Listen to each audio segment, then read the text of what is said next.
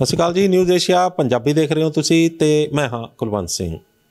ਮੈਂ ਔਰ ਡਾਕਟਰ ਅਮਰ ਸਿੰਘ ਆਜ਼ਾਦ ਇੱਕ ਨਵੇਂ ਐਪੀਸੋਡ ਦੇ ਨਾਲ ਐਪੀਸੋਡ ਨੰਬਰ 17 ਆਪਣਾ ਡਾਕਟਰ ਆਪ ਬਣੋ be your own doctor episode number 17 ਦੇ ਵਿੱਚ ਅਸੀਂ ਵਿਸ਼ਾ ਤਾਂ ਲੈਣ ਜਾ ਰਹੇ ਸੀ ਕਿ ਇੱਕ ਨਵੀਂ ਡਿਜ਼ੀਜ਼ ਦਾ, ਇੱਕ ਨਵੀਂ ਬਿਮਾਰੀ ਦਾ, ਲੇਕਿਨ ਸਾਨੂੰ ਜਿਸ ਤਰ੍ਹਾਂ ਦੀ ਰਿਐਕਸ਼ਨ ਆ ਰਿਹਾ ਪਬਲਿਕ ਦੇ ਵਿੱਚੋਂ, ਉਸ ਤੋਂ ਸਾਨੂੰ ਇਹ ਲੱਗਿਆ ਕਿ ਪਬਲਿਕ ਦੀ ਡਿਮਾਂਡ ਨੂੰ ਸਾਨੂੰ ਪਹਿਲਾਂ ਅੱਗੇ ਰੱਖਣਾ ਪੈਣਾ।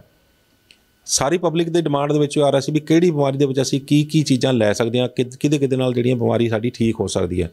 ਤੇ ਫਿਰ ਮੈਂ ਉਹ ਡਾਕਟਰ ਅਮਰ ਸਿੰਘ ਆਜ਼ਾਦ ਨੇ ਇੱਕ ਡਿਸਕਸ਼ਨ ਕੀਤੀ ਕਿ ਜਿਹੜੀਆਂ ਬਿਮਾਰੀਆਂ, ਸਾਰੀਆਂ ਬਿਮਾਰੀਆਂ ਦੇ ਵਿੱਚ ਜਿਹੜੇ ਜਿਹੜੀ ਚੀਜ਼ਾਂ ਜਿਹੜੀਆਂ ਨੇ ਉਹ ਲੈ ਕੇ ਬੰਦਾ ਠੀਕ ਹੋ ਸਕਦਾ ਹੈ ਉਹਨਾਂ ਦੀ ਰੈਸਿਪੀਜ਼ ਜਾਂ ਉਹਨਾਂ ਦੇ ਬਾਰੇ ਅਸੀਂ ਪਹਿਲਾਂ ਜਾਣਕਾਰੀ ਦੇ ਦਿੰਦੇ ਹਾਂ। ਫਿਰ ਹੌਲੀ ਹੌਲੀ ਜਦੋਂ ਅਸੀਂ ਵਿੱਚ ਵਿੱਚ ਜਾ ਕੇ ਬਿਮਾਰੀਆਂ ਦੇ ਵਿੱਚ ਥੋੜਾ ਥੋੜਾ ਦੱਸਾਂਗੇ ਤੇ ਫਿਰ ਉਹ ਸਾਰੀ ਪਬਲਿਕ ਨੂੰ ਸਮਝ ਆ ਜਾਏਗੀ। ਜੇ ਨਹੀਂ ਵੀ ਆਏਗੀ ਤਾਂ ਉਹ ਫਿਰ ਪੁਰਾਣੀ ਵੀਡੀਓ ਜਿਹੜੀ ਇਹ ਵਾਲੀ ਵੀਡੀਓ ਦੇਖ ਕੇ ਉਹਨਾਂ ਦੇ ਕੋਲੋਂ ਉਹ ਸਾਰੀ ਜਿਹੜੀਆਂ ਉਹ ਚੀਜ਼ਾਂ ਦੇ ਵਿੱਚੋਂ ਆਪਣਾ ਹੱਲ ਕੱਢ ਸਕਦੇ ਨੇ। ਡਾਕਟਰ ਸਾਹਿਬ ਤੁਹਾਡਾ ਨਿਊਜ਼ ਏਸ਼ੀਆ ਪੰਜਾਬੀ ਤੇ ਬਹੁਤ ਬਹੁਤ ਸਵਾਗਤ ਹੈ ਜੀ। ਸਤਿ ਸ਼੍ਰੀ ਅਕਾਲ ਜੀ ਸਾਰੇ ਦੋਸਤਾਂ ਨੂੰ। ਡਾਕਟਰ ਸਾਹਿਬ ਆਪਾਂ ਜਦੋਂ ਵੀ ਆਪਾਂ ਗੱਲ ਕੀਤੀ ਹੈ, ਸ਼ੁਰੂ ਤੋਂ ਜਦੋਂ ਆਪਾਂ ਇਲਾਜ ਪੱਧਤੀ ਦੀ ਗੱਲ, ਪੱਧਤੀ ਦੀ ਗੱਲ ਕੀਤੀ ਹੈ, ਤਾਂ ਉਹਦੇ ਵਿੱਚ ਆਪਾਂ ਨੇ ਹੋਲਿਸਟਿਕ ਹੈਲਥ ਦੀ ਗੱਲ ਕੀਤੀ ਹੋਲਿਸਟਿਕ ਹੈਲਥ ਦੇ ਵਿੱਚ ਪੰਜ ਪਿੱਲਰ ਤੁਸੀਂ ਦੱਸੇ ਗਏ ਨੇ, ਜਿਨ੍ਹਾਂ ਦੇ ਵਿੱਚੋਂ ਇੱਕ ਦਵਾ ਪੌਦੇ ਜਿਹੜੇ ਨੇ, ਉਹ ਇੱਕ ਬੜਾ ਅਹਿਮ ਰੋਲ ਅਦਾ ਕਰ ਰਹੇ ਨੇ। ਦਵਾ ਪੌਦੇ ਉਹਦੇ ਚ ਆਯੁਰਵੇਦ ਦੇ ਵਿੱਚ ਵੀ, ਆਯੁਰਵੇਦ ਦਾ ਵੀ ਜਿਹੜਾ ਇੱਕ ਬੜਾ ਵੱਡਾ, ਉਹ ਇਹਦੇ ਵਿੱਚ ਕਨਸੈਪਟ ਹੈਗਾ ਤੇ ਦਵਾ ਪੌਦਿਆਂ ਦੇ ਸਿਰ ਦੇ ਉੱਤੇ ਆਯੁਰਵੇਦ ਦੀ ਜਿਹੜੀ ਪੱਧਤੀ ਹੈ ਉਹ ਆਲੇ ਦੁਆਲੇ ਘੁੰਮਦੀ ਹੈ। ਹੁਣ ਆਪਾਂ ਸਾਰੀਆਂ ਬਿਮਾਰੀਆਂ ਦੇ ਦੱਸੀ ਜਾ ਰਹੇ ਹਾਂ ਵੀ ਉਹਨਾਂ ਦੇ ਕੀ ਕੀ ਅੰਦਰ ਸਾਇੰਟੀਫਿਕ ਰੀਜ਼ਨ ਕੀ ਨੇ, ਅੰਦਰੋਂ ਕੀ, ਕਿੱਦਾਂ ਚੱਲ ਰਿਹਾ, ਕੀ ਖਰਾਬੀ ਆਉਂਦੀ ਹੈ, ਕੀ ਆਪਾਂ ਕਰਦੇ ਹਾਂ, ਉਹ ਸਾਰਾ ਆਪਾਂ ਦੱਸ ਰਹੇ ਹਾਂ। ਨਾਲ ਨਾਲ ਆਪਾਂ ਦੱਸ ਰਹੇ ਹਾਂ ਥੋੜਾ ਥੋੜਾ ਥੋੜਾ ਥੋੜਾ ਪਾਰਟ ਦੱਸਦੇ ਚਲੇ ਜਾ ਰਹੇ ਹਾਂ ਵੀ ਕਿਹੜੇ ਕਿਹੜੇ ਦਵਾ ਪਾਦੇ ਯੂਜ਼ ਕਰਕੇ ਆਪਾਂ ਜਿਹੜੇ ਉਹ ਬਾਡੀ ਨੂੰ ਅੰਦਰੋਂ ਠੀਕ ਕਰਦੇ ਹੀਲ ਕਰ ਸਕਦੇ, ਬਿਮਾਰੀ ਨੂੰ ਠੀਕ ਕਰ ਸਕਦੇ ਹਾਂ। ਲੇਕਿਨ ਆਪਾਂ ਜੇ ਕੁੱਲ ਮਿਲਾ ਕੇ ਆਪਾਂ ਸਾਰਿਆਂ ਨੂੰ ਅਗਰ ਦੱਸਿਆ ਜਾਵੇ ਵੀ ਦਵਾ ਪੌਦੇ ਕਿਹੜੇ ਕਿਹੜੇ ਗੁਣ ਨੇ ਤੇ ਉਹਨੂੰ ਕਿਸ ਤਰ੍ਹਾਂ ਵਰਤ ਕੇ ਅਸੀਂ ਜਿਹੜਾ ਉਹਨੂੰ ਵਰਤੋਂ ਦੇ ਵਿੱਚ ਲਿਆ ਸਕਦੇ ਹਾਂ ਤਾਂ ਮੈਨੂੰ ਲੱਗਦਾ ਹੈ ਕਿ ਇਹ ਇੱਕ ਪੂਰੀ ਕੰਪਲੀਟ ਵੀਡੀਓ ਹੋ ਜਾਏਗੀ ਤੇ ਵਿੱਚ ਉਸ ਦੇ ਵਿੱਚ ਫਿਰ ਉਹ ਜਦੋਂ ਆਪਾਂ ਫਿਊਚਰ 'ਚ ਜਦੋਂ ਕਿਸੇ ਬਿਮਾਰੀ ਦੇ ਸੰਬੰਧ ਵਿੱਚ ਆਪਾਂ ਦੱਸਾਂਗੇ ਤਾਂ ਫਿਰ ਉਹ ਇਹ ਵੀਡੀਓ ਜਿਹੜੀ ਉਹ ਖੋਲ ਕੇ ਵੇਖਣ ਦੇ ਵਿੱਚ ਉਹਨੂੰ ਆਸਾਨੀ ਹੋ ਜਾਏਗੀ ਵੀ ਉਸ ਦੇ ਉਹ ਪੂਰ ਕਿਉਂਕਿ ਇਸ ਵੀਡੀਓ 'ਚ ਪੂਰਾ ਵਿਸਥਾਰ ਦੱਸਿਆ ਵਾ ਹੋਏਗਾ ਉਸ ਚੀਜ਼ ਦਾ। ਤੇ ਦਵਾ ਪੌਦੇ, ਹੁਣ ਆਪਾਂ ਦਵਾ ਪੌਦਿਆਂ ਦੀ ਜਦੋਂ ਗੱਲ ਕਰਦੇ ਹਾਂ ਤਾਂ ਦਵਾ ਪੌਦਿਆਂ ਦਾ ਜਿਹੜਾ ਇਨਸਾਨੀ ਜੀਵਨ ਦੇ ਵਿੱਚ ਥੋੜਾ ਰੋਲ ਸਮਝਾ ਦਿਓ, ਫਿਰ ਆਪਾਂ ਅੱਗੇ ਚੱਲਦੇ ਹਾਂ। ਕੁਲਵੰਤ ਜੀ ਸਭ ਤੋਂ ਦਬਾਅ ਪੌਦਿਆਂ ਦੀ ਗੱਲ ਕਰਨ ਤੋਂ ਪਹਿਲਾਂ ਜਿਹੜੀਆਂ ਦੋ ਤਿੰਨ ਗੱਲਾਂ ਮੁੱਢਲੀਆਂ ਨੇ, ਉਹ ਸਮਝ ਲੈਣੀਆਂ ਬਹੁਤ ਜ਼ਰੂਰੀ ਨੇ। ਪਹਿਲੀ ਗੱਲ ਤਾਂ ਬਿਮਾਰੀਆਂ ਜਿਹੜੀਆਂ ਨੇ, ਉਹ ਬਾਹਰੀ ਰੂਪ ਨੇ ਸਾਡੀ ਸਿਹਤ ਦਾ। ਮੂਲ ਸਾਡੇ ਅੰਦਰ ਸਿਹਤ ਹੈ। ਸਿਹਤ ਦਾ ਮਤਲਬ ਹੈ ਕਿ ਕੁਦਰਤ ਨੇ ਉਸ ਪਰਮਾਤਮਾ ਨੇ ਜਦੋਂ ਮੈਨੂੰ ਬਣਾਇਆ, ਇਸ ਕੁਦਰਤ ਦੇ ਪੰਜ ਤੱਤ ਵਰਤ ਕੇ ਤਾਂ ਮੈਨੂੰ ਇੱਕ ਖਾਸ ਸਮੇਂ ਲਈ ਬਣਾਇਆ ਗਿਆ। ਤੇ ਕੁਦਰਤ ਦੀ ਇਹ ਹਰ ਕੋਸ਼ਿਸ਼ ਹੁੰਦੀ ਹੈ ਕਿ ਮੈਂ ਉਹਨਾਂ ਸਮਾਂ ਪੂਰਾ ਕਰਕੇ ਸਿਹਤਮੰਦ ਰਹਿ ਕੇ ਤੇ ਆਪਣਾ ਰੋਲ ਜਿਹੜਾ ਮੇਰਾ ਬਣਦਾ ਹੈ, ਉਹਨੂੰ ਪੂਰਾ ਨਿਭਾ ਕੇ ਜਾਵਾਂ। ਉਹ 'ਚ ਆਪਾਂ ਬਹੁਤ ਵਾਰੀ ਗੱਲ ਕਰ ਚੁੱਕੇ ਹਾਂ ਕਿ ਇੱਕ ਜਿਹੜੀ ਸਾਡੀ ਰਚਨਾ ਸਰੀਰ ਦੀ ਹੈ, ਸਵਾ ਸੌ ਸਾਲ ਸਿਹਤਮੰਦ ਐਕਟਿਵ ਜੀਵਨ ਦੀ ਹੈ। ਉਹਦੇ ਵਿੱਚ ਮੂਲ ਜਿਹੜਾ ਸਿਹਤ ਹੈ ਸਿਹਤ ਇੱਕ ਬਹੁਤ ਕੰਪਰੀਹੈਂਸਿਵ ਬਹੁਤ ਵਿਸ਼ਾਲ ਕਨਸੈਪਟ ਹੈ। ਸਿਹਤ ਕੋਈ ਇੱਕ ਇਕਾਈ ਨਹੀਂ ਹੈ। ਸਿਹਤ ਕੋਈ ਇੱਕ ਇੱਕ ਚੀਜ਼ ਨਹੀਂ ਹੈ ਜਿਹਨੂੰ ਮੈਂ ਦਿਖਾ ਦੇਵਾਂ ਵੀ ਆਹ ਸਿਹਤ ਹੈ। ਸਿਹਤ ਸਾਰੇ ਸਮੂਹ ਸਰੀਰ ਦੀ ਫੰਕਸ਼ਨਿੰਗ ਦਾ ਨੈਟ ਰਿਜ਼ਲਟ ਹੈ। ਜਿਵੇਂ ਆਪਾਂ ਹੋਲਿਸਟਿਕ ਹੈਲਥ ਕਰਦੇ ਹਾਂ। ਹਾਂ ਹੋਲ ਹੈ ਹੋਲ ਹੈ ਹੋਲ ਹੈ। ਸੰਪੂਰਨ ਹੈ। ਉਹ 'ਚ ਕਰੋੜਾਂ ਕਰੋੜ ਸੈੱਲ ਹਰ ਸੈੱਲ ਇੱਕ ਇੱਕ ਸੈੱਲ ਲੱਖਾਂ ਐਕਟੀਵਿਟੀਜ਼ ਕਰ ਰਿਹਾ ਹਜ਼ਾਰਾਂ ਐਕਟੀਵਿਟੀਜ਼ ਕਰ ਰਿਹਾ। ਔਰ ਸਾਰੇ ਕਰੋੜਾਂ ਕਰੋੜ ਸੈੱਲ ਕੰਮ ਕਰਦੇ ਹੋਏ ਫਿਰ ਉਹ ਆਪਸ 'ਚ ਤਾਲਮੇਲ 'ਚ ਨੇ। ਹਰ ਸੈੱਲ ਦੂਜੇ ਸੈੱਲ ਦੀ ਤਾਲਮੇਲ 'ਚ ਔਰ ਤਾਲਮੇਲ 'ਚ ਨਹੀਂ, ਜਦੋਂ ਕਿਸੇ ਕਿਸੇ ਇੱਕ ਸੈੱਲ ਨੂੰ ਕੋਈ ਭੀੜ ਪੈਂਦੀ ਹੈ, ਕੋਈ ਸੱਟ ਫੇਟ ਵੱਜ ਜਾਂਦੀ ਹੈ, ਕੋਈ ਜ਼ਹਿਰ ਦੀ ਮਾਰ ਅਸਰ ਆ ਜਾਂਦਾ ਕੋਈ ਬਿਮਾਰੀ ਦੀ ਮਾਰ ਮਾਰ ਅਸਰ ਆਉਣ ਦੀ ਕੋਸ਼ਿਸ਼ ਹੁੰਦੀ ਹੈ, ਤਾਂ ਬਾਕੀ ਦੇ ਸੈੱਲ ਉਹਦੀ ਮਦਦ ਤੇ ਆਉਂਦੇ ਆ। ਸੋ ਸਾਰਾ ਸਰੀਰ ਉਹਦੀ ਮਦਦ ਤੇ ਆਉਂਦਾ ਤਾਂ ਕਿ ਉਹ ਪਾਰਟ ਜਿਹੜਾ, ਉਹ ਸੈੱਲਾਂ ਦਾ ਜਿਹੜਾ ਸਮੂਹ ਹੈ, ਉਹ ਖਰਾਬ ਨਾ ਹੋਵੇ। ਤੋ ਇੱਕ ਤਾਂ ਇਸ ਗੱਲ ਨੂੰ ਸਮਝ ਲਈ ਆਪਾਂ ਕਿ ਕਰੋੜਾਂ ਕਰੋੜ ਸੈੱਲ, ਹਜ਼ਾਰਾਂ ਹਜ਼ਾਰਾਂ ਕੰਮ ਕਰ ਰਹੇ ਆ ਕੱਲਾ ਕੱਲਾ ਸੈੱਲ ਔਰ ਫਿਰ ਉਹ ਸਾਰੇ ਦੇ ਸਾਰੇ ਤਾਲਮੇਲ ਚ ਨੇ ਆਪਸ ਉਹ ਕੱਲੇ ਆਪਸ ਚ ਤਾਲਮੇਲ ਚ ਨਹੀਂ ਹੈਗੇ। ਉਹ ਉਸ ਤੋਂ 10 ਗੁਣਾ ਜ਼ਿਆਦਾ ਜਿਹੜੇ ਸਾਡੇ ਅੰਦਰ ਜਿਹੜੇ ਸੂਖਸ਼ਮ ਜੀਵ ਨੇ ਜਿਹਨੂੰ ਅਸੀਂ ਮਾਈਕਰੋਬਾਇਓਟਾ ਕਹਿੰਦੇ ਆ, ਉਹ ਵੀ ਸਾਡੇ ਸਰੀਰ 'ਚ ਰਹਿੰਦੇ ਆ, ਜਿਨ੍ਹਾਂ ਦਾ ਘਰ ਆ ਅਸੀਂ। ਅਸੀਂ ਕਰੋ- ਲਗਭਗ 1 ਕਰੋੜ ਕਰੋੜ 1 ਕਰੋੜ ਕਰੋੜ ਸੈੱਲਾਂ ਦੇ ਬਣੇ ਹੋਏ ਜੀਵ ਆ। ਸਾਡੇ ਅੰਦਰ 10 ਕਰੋੜ ਕਰੋੜ ਹੋਰ ਜੀਵ ਰਹਿੰਦੇ ਆ। ਸੂਖਸ਼ਮ ਜੀਵ। ਯਾਨੀ ਕਿ ਟੋਟਲ ਅਸੀਂ 11 ਕਰੋੜ ਕਰੋੜ ਆ ਲਗਭਗ ਲਗਭਗ। ਔਸਤਨ ਹੈ ਔਸਤਨ ਹੈ। ਉਹ ਸਾਈਜ਼ ਦੇ ਹਿਸਾਬ ਨਾਲ, ਬੰਦੇ ਦੇ ਸਾਈਜ਼ ਦੇ ਹਿਸਾਬ ਨਾਲ ਵੱਧ ਘੱਟ ਹੋ ਸਕਦੇ ਆ। ਲੇਕਿਨ ਜੇ ਆਪਾਂ ਔਸਤ ਜੀ ਕੱਢੀਏ ਤੇ ਉਹਨੂੰ ਸਿੰਪਲੀਫਾਈ ਕਰੀਏ, ਤਾਂ ਸਿੰਪਲੀਫਾਈ ਕਰਕੇ ਆਪਾਂ ਕਹਿ ਸਕਦੇ ਕਿ 1 ਕਰੋੜ ਕਰੋੜ ਸੈੱਲਾਂ ਦੇ ਅਸੀਂ ਸਮੂਹ ਆ ਤੇ 10 ਕਰੋੜ ਕਰੋੜ ਸਾਡੇ ਅੰਦਰ ਜੀਵ ਰਹਿੰਦੇ ਆ ਜਿਨ੍ਹਾਂ ਦਾ ਅਸੀਂ ਘਰ ਆ ਤਾਂ ਉਹ 11 ਕਰੋੜ ਕਰੋੜਾਂ ਵਾਸਤੇ 11 ਕਰੋੜ ਕਰੋੜ ਜੀਵਾਂ ਦੇ ਵਾਸਤੇ ਸਿਹਤ ਚਾਹੀਦੀ ਹੈ। ਉਹ ਸਿਹਤ ਨਹੀਂ ਹੋਏਗੀ ਤਾਂ ਸਾਰੇ ਸਾਰੇ ਅੰਡਰ ਥ੍ਰੈਟ ਆ ਜਾਣਗੇ ਕਿ ਇਹਨਾਂ ਦੀ ਹੋਂਦ ਖਤਮ ਹੋ ਸਕਦੀ ਹੈ। ਤੇ ਇਸ ਕਰਕੇ ਕੁਦਰਤ ਦੇ ਅੰਦਰ ਇੱਕ ਬਹੁਤ ਹੀ ਕੰਪਰੀਹੈਂਸਿਵ ਬਹੁਤ ਹੀ ਵਿਸ਼ਾਲ, ਬਹੁਤ ਹੀ ਇੱਕ ਨੈਟਵਰਕ ਦੇ ਤਰੀਕੇ ਕੰਮ ਕਰਦਾ ਜਿਹੜਾ ਕਿ 1 ਕਰੋੜ ਕਰੋੜ ਉਹ 10 ਕਰੋੜ ਕਰੋੜ ਉਹ ਤੇ ਬਾਕੀ ਉਹਦਾ ਤਾਲਮੇਲ ਲੱਗੇ ਸਾਰਾ ਕੁਦਰਤ ਦੇ ਨਾਲ, ਬਾਕੀ ਜੀਵ ਜੰਤੂਆਂ ਨਾਲ, ਪੇੜ ਪੌਦਿਆਂ ਨਾਲ, ਉਸ ਜਿਹਨੂੰ ਆਪਾਂ ਇਕੋਲੋਜੀ ਕਹਿੰਦੇ ਆ ਜਿਹਨੂੰ ਕੁਦਰਤੀ ਸੰਤੁਲਨ ਕਹਿੰਦੇ ਆ ਸਾਰਾ ਉਹ, ਤਾਂ ਉਹ ਸਾਰਾ ਕੰਪਰੀਹੈਂਸਿਵ ਹੈ, ਬੜਾ ਬੜਾ ਵਿਸ਼ਾਲ ਹੈ ਉਹ, ਵਿਸ਼ਾਲ ਹੈ, ਤੇ ਤੇ ਜੇ ਆਪਾਂ ਉਹ- ਉਹ, ਉਸ ਇਕਾਈ ਨੂੰ ਅਗਰ ਅਗਰ ਅਗਰ ਕਰੀਏ, ਕਹੀਏ ਤਾਂ ਉਹ ਇਕਾਈ ਕੁਦਰਤ ਦੀ ਇਕਾਈ ਹੈ, ਫਿਰ ਕਾਸਮੋਸ ਦੀ ਇਕਾਈ ਹੈ, ਬ੍ਰਹਿਮੰਡ ਦੀ ਇਕਾਈ ਹੈ। ਤਾਂ ਪੂਰੀ ਇਕਾਈ ਦੇ ਵਿੱਚ ਜਿਹੜਾ ਜਿਹੜਾ ਕਿ ਇੱਕ- ਯੂਨਿਟੀ ਦੇ ਤੌਰ ਤੇ, ਇੱਕ ਇਕਾਈ ਦੇ ਤੌਰ ਤੇ ਕੰਮ ਕਰਦਾ ਉਹ ਸਾਰੇ ਦਾ, ਉਹਨੂੰ ਆਪਾਂ ਸਿਹਤ ਕਹਿੰਦੇ ਆ ਸਿਹਤ ਆ ਸੋ ਉਹਦੇ ਸਿਹਤ ਦੇ ਅੰਦਰ ਅੱਡ ਅੱਡ ਰੋਲ ਨੇ ਚੀਜ਼ਾਂ ਦੇ। ਹਵਾ ਦਾ ਆਪਣਾ ਰੋਲ ਹੈ, ਸਿਹਤਮੰਦ ਰੱਖਣ ਲਈ। ਪਾਣੀ ਦਾ ਆਪਣਾ ਰੋਲ ਹੈ, ਭੋਜਨ ਦਾ ਆਪਣਾ ਰੋਲ ਹੈ, ਔਰ ਦਵਾ ਪੌਦਿਆਂ ਦਾ ਆਪਣਾ ਰੋਲ ਹੈ। ਕੁਦਰਤ ਨੇ ਬਹੁਤ ਸਾਰੇ ਪੌਦੇ ਨੇ, ਉਹਨਾਂ ਦੇ ਅੰਦਰ ਐਸੇ ਗੁਣ ਦਿੱਤੇ ਆ ਕਿ ਜਦੋਂ ਉਹਨੂੰ ਜਿ- ਜਿਹੜੇ ਉਹਦੇ ਆਲੇ ਦੁਆਲੇ ਜੀਵ ਵਿਚ- ਵਿਚਰਦੇ ਆ ਕੋਈ ਚਾਹੇ ਛੋਟਾ ਸੂਖਸ਼ਮ ਜੀਵ ਹੈ, ਚਾਹੇ ਉਹ ਮਨੁੱਖ ਹੈ, ਚਾਹੇ ਉਹ ਹਾਥੀ ਹੈ, ਉਹਦੇ ਸਰੀਰ ਵਾਸਤੇ ਉਹ ਪੌਦਾ ਭੋਜਨ ਪੌਦਾ ਹੋ ਸਕਦਾ ਜਾਂ ਦਵਾ ਪੌਦਾ ਹੋ ਸਕਦਾ ਭੋਜਨ ਪੌਦਾ ਹੁੰਦੇ ਜਦੋਂ ਜ਼ਿਆਦਾ ਖਾਂਦੇ ਹਾਂ ਅਸੀਂ ਜਿਹਦੀ ਮਾਤਰਾ ਜ਼ਿਆਦਾ ਹੋਵੇ ਉਹਨੂੰ ਉਸ ਵਿੱਚ ਭੋਜਨ ਪੌਦਾ ਕਹਿ ਸਕਦੇ ਹਾਂ ਜਿਹੜਾ ਊਰਜਾ ਦਿੰਦਾ ਹੈ, ਜਿਹੜਾ ਫੈਟਸ ਦਿੰਦਾ ਹੈ ਪ੍ਰੋਟੀਨਸ ਦਿੰਦਾ ਹੈ, ਕੰਮ ਨੂੰ ਚਲਾਉਣ 'ਚ, ਸਰੀਰ ਨੂੰ ਚਲਾਉਣ 'ਚ ਮਦਦ ਕਰਦਾ ਹੈ, ਤਾਂ ਉਹਨੂੰ ਅਸੀਂ ਭੋਜਨ ਪੌਦਾ ਕਹਿੰਦੇ ਨੇ ਉਹਦੀ ਮਾਤਰਾ ਜ਼ਿਆਦਾ ਹੁੰਦੀ ਹੈ। ਦਵਾ ਪੌਦਿਆਂ ਦੀ ਮਾਤਰਾ ਬਹੁਤ ਥੋੜੀ ਹੁੰਦੀ ਹੈ, ਉਹ ਸਿਰਫ ਦਵਾ ਦਾ ਕੰਮ ਕਰਦੇ ਆ ਸਾਡੇ ਸਰੀਰ ਨੂੰ ਠੀਕ ਚੱਲਦਾ ਰੱਖਣ ਲਈ, ਜਿਸ ਤਰ੍ਹਾਂ ਮੰਨ ਲਓ ਕਾਰ ਨੂੰ ਚੱਲਣ ਰੱਖਣ ਲਈ ਡੀਜ਼ਲ, ਪੈਟਰੋਲ ਤਾਂ ਚਾਹੀਦਾ ਹੈ ਇੰਧਨ ਦੇ ਤੌਰ ਤੇ, ਫਿਊਲ ਦੇ ਤੌਰ ਤੇ, ਲੇਕਿਨ ਉਹਦੇ ਅੰਦਰ ਇੱਕ ਉਹ ਵੀ ਚਾਹੀਦਾ ਹੈ, ਵੀ ਚਾਹੀਦਾ ਉਹਦੇ ਅੰਦਰ ਗਰੀਸ ਵੀ ਚਾਹੀਦੀ ਹੈ ਉਹਦੇ ਪੁਰਜਿਆਂ ਨੂੰ ਸਮੂਥਲੀ ਮੂਵ ਕਰਨ ਵਾਸਤੇ। ਸੋ ਦਵਾ ਪੌਦੇ ਉਦਾਂ ਹੀ ਨੇ ਉਹ ਸਾਡੇ ਸਾਡੇ ਸਰੀਰ ਨੂੰ ਚੱਲਦਾ ਰੱਖਣ ਲਈ ਇੱਕ ਹੈਲਪਿੰਗ ਰੋਲ ਨਿਭਾਉਂਦੇ ਆ। ਤੇ ਕਿੰਨੇ ਕੁ ਪੌਦੇ ਨੇ ਟੋਟਲ? ਬਹੁਤ ਪੌਦੇ ਤਾਂ ਬਹੁਤ ਜ਼ਿਆਦਾ ਨੇ। ਉਹ ਰੀਜਨ ਟੂ ਰੀਜਨ ਵੇਰੀ ਕਰਦੇ ਆ। ਕੋਈ ਪੰਜਾਬ ਚ ਹੈ ਕੋਈ ਹਰਿਆਣੇ ਚ ਹੈ ਕੋਈ ਉੱਤਰ ਪ੍ਰਦੇਸ਼ ਚ ਹੈ ਕੋਈ ਸਾਊਥ ਚ ਹੈ ਕੋਈ ਹਿਮਾਲਿਆ ਤੇ ਹੈ ਕੋਈ ਕੋਈ ਸਮੁੰਦਰ ਦੇ ਅੰਦਰ ਜੀਵਾਂ ਵਾਸਤੇ ਅਲੱਗ ਨੇ। ਸਬ ਮਕਰੀ ਅਮਰੀਕਾ ਦੇ ਅਲੱਗ ਹੋਣਗੇ ਇੰਗਲੈਂਡ ਦੇ ਅਲੱਗ ਹੋਣਗੇ ਇਹ ਅਲੱਗ-ਅਲੱਗ ਵੀ ਹੋਣਗੇ। ਜੇ ਆਪਾਂ ਇੱਕ ਥਾਂ ਤੇ ਇੱਕ ਬੰਦੇ ਲਈ ਲਾਈਏ, ਜਾਂ ਇੱਕ ਪਰਿਵਾਰ ਲਈ ਲਾਈਏ, ਜਾਂ ਇੱਕ ਸਮਾਜ ਲਈ ਲਾਈਏ, ਤਾਂ ਲਗਭਗ ਜੇ 100 ਕੁ ਪੌਦਾ ਭੋਜਨ ਵਾਲਾ ਤੇ 100 ਕੁ ਭੋਜਾ ਪੌ- ਪੌਦਾ ਦਵਾ ਵਾਲਾ, ਦਵਾਈਆਂ ਵਾਲਾ, ਲਗਭਗ ਇੰਨੇ ਕੁ ਪੌਦੇ ਹੁੰਦੇ ਆ ਜਿਹਦੀ ਸਾਨੂੰ ਲੋੜ ਹੁੰਦੀ ਹੈ ਜਿਹਦੇ ਸਿਰ ਤੇ ਆਪਣਾ ਜੀਵਨ ਅਸੀਂ ਬਹੁਤ ਹੀ ਸੁੰਦਰ ਬਹੁਤ ਹੀ ਜਿਹਨੂੰ ਕਹਿੰਦੇ ਆ, ਖੁਸ਼ੀਆਂ ਭਰਿਆ, ਖੇੜਿਆਂ ਭਰਿਆ, ਆਨੰਦ ਭਰਿਆ, ਜਿਉ ਜਿਉ ਸਕਦੇ ਆ।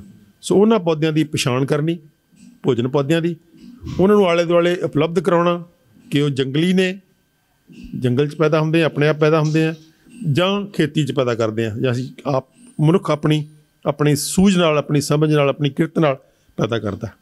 ਉਹ 100 ਪੌਦੇ ਪੌਦੇ ਭੋਜਨ ਦੇ ਆ ਤੇ 100 ਪੌਦੇ ਦਵਾ ਦੇ ਇਹ 200 ਪੌਦੇ ਲਗਭਗ ਇਹਦੇ ਚੋਂ ਅੱਧੇ ਵੀ ਜੇ ਬੰਦੇ ਆਪਾਂ ਕਰ ਲਵੇ ਕੋਈ ਕੋਈ ਵਿਅਕਤੀ 100 ਵੀ ਕਰ ਲਵੇ 50 ਭੋਜਨ ਦੇ ਤੇ 50 ਉਹਦੇ ਤਾਂ ਵੀ ਉਹਦਾ ਜੀਵਨ ਚੱਲ ਸਕਦਾ। ਲੇਕਿਨ ਕੋਸ਼ਿਸ਼ ਕਰਨੀ ਚਾਹੀਦੀ ਹੈ ਕਿ ਇਹਦੀ ਗਿਣਤੀ ਜਿਹੜੀ ਆ, ਉਹ ਉਹ 50 ਤਾਂ ਹੋਵੇ ਹੀ।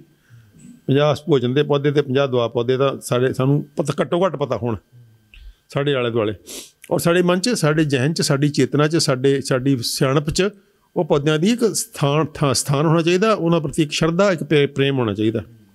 ਕਿਉਂਕਿ ਉਹ ਜੇ ਸ਼ਰਧਾ, ਪ੍ਰੇਮ ਅਗਰ ਨਹੀਂ ਹੋਏਗਾ ਤਾਂ ਅਸੀਂ ਉਹਨਾਂ ਪੌਦਿਆਂ ਨੂੰ ਬਿਲਕੁਲ ਇਗਨੋਰ ਕਰਾਂਗੇ ਔਰ ਉਹਦਾ ਉਹਦਾ ਅਸੀਂ ਜੋ ਜਿਹੜੇ ਦੁਰਪ੍ਰਭਾਵ ਨੇ ਉਹਦੇ ਮਾੜੇ ਅਸਰ ਨੇ ਆਪ ਭੁਗਤਾਂਗੇ ਫਿਰ। ਸੋ 50 ਘੱਟੋ ਘੱਟ ਮੈਂ ਸਮਝਦਾ। 50 ਪੌਦੇ ਭੋਜਨ ਦੇ ਤੇ 50 ਪੌਦੇ ਦਵਾ ਪੌਦੇ। ਤੇ 100 ਜੇ ਹੋ ਜਾਣ ਤਾਂ ਬਹੁਤ ਹੀ ਬੱਲੇ ਬੱਲੇ ਬੱਲੇ ਬੱਲੇ ਫਿਰ। ਤਾਂ ਉਹ ਪੌਦੇ ਜਿਹੜੇ ਨੇ, ਉਹ ਕੋਸ਼ਿਸ਼ ਆਪਾਂ ਕਰ ਰਹੇ ਹਾਂ ਬਾਰ-ਬਾਰ ਤੁਸੀਂ ਦੇਖ ਰਹੇ ਹੋ ਪਿਛਲੇ 2 ਸਾਲਾਂ ਤੋਂ ਆਪਾਂ। ਇੱਥੇ ਵੀ ਲੱਗੇ ਹੋਏ ਆ ਬਹੁਤ ਸਾਰੇ ਨੇ ਡਾਕਟਰ ਖਾਦਰ ਵਲੀ ਵਰਗੇ ਇਨਸਾਨ ਜਿਹੜੇ ਕਿ ਪਿਛਲੇ 20 25 ਸਾਲ ਤੋਂ ਲੱਗੇ ਹੋਏ ਆ ਬਹੁਤ ਸਾਰੇ ਹੋਰ ਰਿਸਰਚਰ ਨੇ, ਵੈਸੇ ਤਾਂ ਸਾਡਾ ਆਯੁਰਵੇਦ ਦਾ ਹੀ ਇਹ ਸਾਰਾ ਜਿਹਨੂੰ ਕਹਿੰਦੇ ਪ੍ਰਤਾਪ ਹੈ। ਕਿਉਂਕਿ ਸਾਡੀ ਆਯੁਰਵੇਦ ਜਿਹੜੀ ਆ, ਉਹ ਤਾਂ ਬਹੁਤ ਪੁਰਾਤਨ ਹੈ। 5 5000 ਸਾਲ ਕੇ 10000 ਸਾਲ ਕੇ ਉਸ ਤੋਂ ਵੀ ਪੁਰਾਤਨ ਹੈ। ਤਾਂ ਉਹ ਅਸਲ 'ਚ ਉੱਥੋਂ ਹੀ ਲਿਆ। ਤੇ ਹੁਣ ਜਿਹੜੇ ਅਸੀਂ ਲੋਕ ਕੰਮ ਕਰ ਰਹੇ ਹਾਂ, ਅਸੀਂ ਤੁਹਾਨੂੰ ਰਿਸ਼ੀਆਂ ਮੁਨੀਆਂ ਦੀ ਕਿ- ਜਿ- ਜਿਹਨੂੰ ਕਹਿੰਦੇ ਸਾਰਾ ਗਿਆਨ ਹੈ, ਉਹਨੂੰ ਫਿਰ ਤੋਂ ਸਿੰਪਲੀਫਾਈ ਕਰਕੇ, ਉਹਨੂੰ ਸਧਾਰਨ ਸ਼ਬਦਾਂ 'ਚ ਕਹਿ ਕੇ, ਉਹਨੂੰ ਮੁੜ ਕੇ ਰਿਮਾਈਂਡ ਕਰਾ ਕੇ, ਸਾਡਾ ਕੰਮ ਤਾਂ ਉਹਨਾਂ ਕੀ ਹੈ। ਜਿਹੜਾ ਅਸ- ਅਸਲ ਜਿਹੜਾ ਜਿਹੜਾ ਕੰਮ ਹੈ, ਉਹ ਤਾਂ ਹਜ਼ਾਰਾਂ ਸਾਲ ਦੇ ਰਿਸ਼ੀਆਂ ਮੁਨੀਆਂ ਤੇ ਸਾਡੇ ਬਜ਼ੁਰਗਾਂ ਦੀ ਜਿਹੜੀ ਖੋਜ ਸੀਗੀ ਖੋਜਾਂ ਸੀਗੀਆਂ, ਤੇ ਉਹਨਾਂ ਦੀ ਕੋਸ਼ਿਸ਼ ਸੀ ਕਿ ਸਿਹਤਮੰਦ ਜੀਵਨ ਕਿਵੇਂ ਕਿਵੇਂ ਜਿਉਇਆ ਜਾਵੇ। ਤਾਂ ਉਹਦੇ ਚੋਂ ਨਿਕਲੀ ਹੋਈ ਚੀਜ਼ ਹੈ ਤਾਂ ਉਹਦੇ ਚ ਮੈਂ ਸਮਝਦਾ ਕਿ ਇਸ ਬੈਕਗ੍ਰਾਉਂਡ ਚ ਆਪਾਂ ਨੂੰ ਗੱਲ ਕਰਨੀ ਚਾਹੀਦੀ ਹੈ ਕਿ ਪ੍ਰਾਇਮਰੀ ਸਿਹਤ ਹੁੰਦੀ ਹੈ ਤੇ ਇਹ ਪੌਦੇ ਆਪਾਂ ਕਹਿ ਦਿੰਦੇ ਵੀ ਫਲਾਣਾ ਪੌਦਾ ਜਿਹੜਾ ਉਹ ਸ਼ੂਗਰ ਲਈ ਚੰਗਾ ਹੈ। ਇਹਦਾ ਮਤਲਬ ਨਹੀਂ ਕੱਲੀ ਸ਼ੂਗਰ ਲਈ ਚੰਗਾ ਉਹ। ਇਹਦਾ ਮਤਲਬ ਹੈ ਕਿ ਉਹ ਪੌਦਾ ਇਸ ਢੰਗ ਨਾਲ ਸਿਹਤ ਨੂੰ ਠੀਕ ਕਰਦਾ ਕਿ ਤੁਹਾਡੀ ਸ਼ੂਗਰ ਠੀਕ ਹੋ ਜਾਂਦੀ ਹੈ। ਲੇਕਿਨ ਉਹ ਸ਼ੂਗਰ ਹੀ ਇਕੱਲੀ ਠੀਕ ਨਹੀਂ ਕਰੇਗਾ। ਉਹ ਤੁਹਾਡਾ ਸਾਦਾ ਬੀਪੀ ਵੀ ਠੀਕ ਕਰ ਦੇਵੇ, ਉਹ ਤੁਹਾਡਾ ਮੋਟਾਪਾ ਵੀ ਠੀਕ ਕਰ ਦੇਵੇ, ਉਹ ਤੁਹਾਡਾ ਦਿਮਾਗ ਵੀ ਠੀਕ ਕਰ ਦੇਵੇ। ਸੋ ਇਸ ਕਰਕੇ ਪੌਦਿਆਂ ਦੇ ਅੰਦਰ ਬਹੁਤ ਸਾਰੇ ਸਾਈਡ ਗੁੱਡ ਇਫੈਕਟਸ ਹੁੰਦੇ ਆ। ਗੁਣ ਹੁੰਦੇ ਦਵਾ ਗੁਣ ਹੁੰਦੇ ਦੁਆ ਗੁਣ ਹੁੰਦੇ ਨੇ। ਦੁਆ ਗੁਣ ਇੱਕ ਤਾਂ ਮੁੱਖ ਹੋ ਗਿਆ। ਮਤਲਬ ਆਪਾਂ ਆਪਾਂ ਸ਼ੂਗਰ ਵਾਸਤੇ ਕੋਈ ਪੌਦਾ ਖਾ ਰਹੇ ਹਾਂ। ਆਪਣੀ ਸ਼ੂਗਰ ਹੋ ਗਈ ਆਪਾਂ ਨੂੰ। ਆਪਾਂ ਇੱਕ ਪੌਦਾ ਖਾ ਰਹੇ ਹਾਂ। ਕਿਸੇ ਸ਼ਕਲ ਦਵਾ ਦਵਾ ਦਵਾ ਦੀ ਸ਼ਕਲ ਜਾਂ ਜਾਂ ਭੋਜਨ ਦੀ ਸ਼ਕਲ। 'ਚ।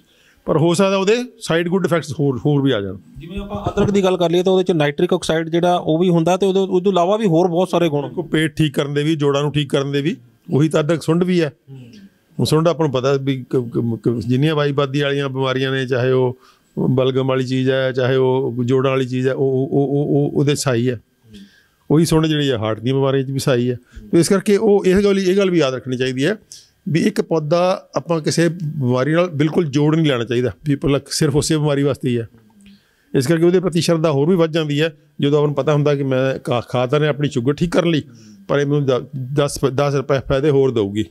So side good effects side good effect ਜਿਵੇਂ ਕੈਮੀਕਲ ਦਵਾਈਆਂ ਦੇ side bad effect side effects ਹੁੰਦੇ ਆ ਬੈਡ ਬੈਡ ਸਾਈਡ ਇਫੈਕਟਸ ਹੁੰਦੇ ਆ।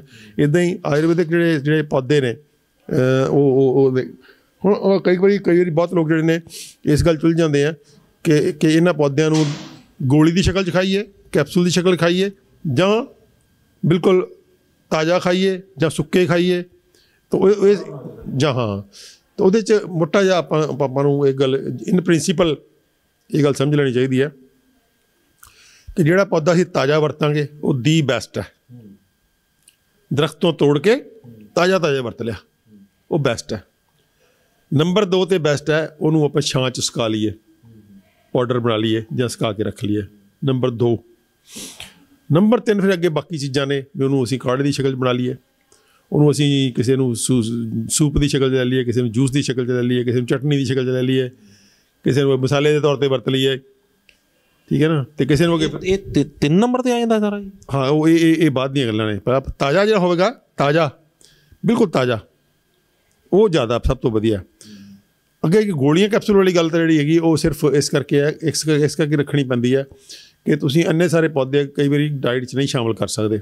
ਥੋੜੀ ਸੀਮਾ ਹੁੰਦੀ ਸਮੇਂ ਦੀ ਸੀਮਾ ਹੈ ਕਈ ਬੰਦੇ ਕੋਲ ਨੌਲੇਜ ਨਹੀਂ ਹੈ ਕਿਸੇ ਕੋਲ ਸਹੂਲਤਾਂ ਨਹੀਂ ਹੈ ਤਾਂ ਬਹੁਤ ਸਾਰੀਆਂ ਗੱਲਾਂ ਜਿਹੜੀਆਂ ਇਦਾਂ ਦੀਆਂ ਹੋ ਜਾਂਦੀਆਂ ਨੇ। ਤਾਂ ਉਸ ਕਰਕੇ ਫਿਰ ਗੋਲੀਆਂ ਕੁਝ ਕੁਝ ਚੀਜ਼ ਮੰਨ ਲਓ ਆਪਣੇ ਦੋ ਤਿੰਨ ਚਾਰ ਪੰਜ ਪੌਦੇ ਤਾਂ ਪਾਤੇ ਭੋਜਨ ਦੇ ਤੌਰ ਤੇ ਜਿਹੜੇ ਦੁਆਲ ਟਾਈਪ ਨੇ ਦੋ ਤਿੰਨ ਪਾਤੇ ਅੱਗੇ ਜਿਹੜਾ ਹੈ, ਦੁਆ ਪੌਦੇ ਦੇ ਤੌਰ ਤੇ। ਫਿਰ ਪਰ ਫਿਰ ਵੀ ਲੱਗਿਆ ਵੀ ਨਹੀਂ ਆ ਵੀ ਆਦਾ ਇਹਦੀ ਵੀ ਮਦਦ ਲਈ ਜਾ ਸਕਦੀ ਹੈ। ਉਹ ਆਪਾਂ ਫਿਰ ਗੋਲੀ ਕਪਸੂਲ ਦੀ ਸ਼ਕਲ ਜਾਂ ਉਹਦੇ ਕਿਸੇ ਅਸਬ ਦੀ ਸ਼ਕਲ 'ਚ ਜਾਂ ਕਿਸੇ ਕਾੜੇ ਦੀ ਸ਼ਕਲ 'ਚ ਪਾਤਾ।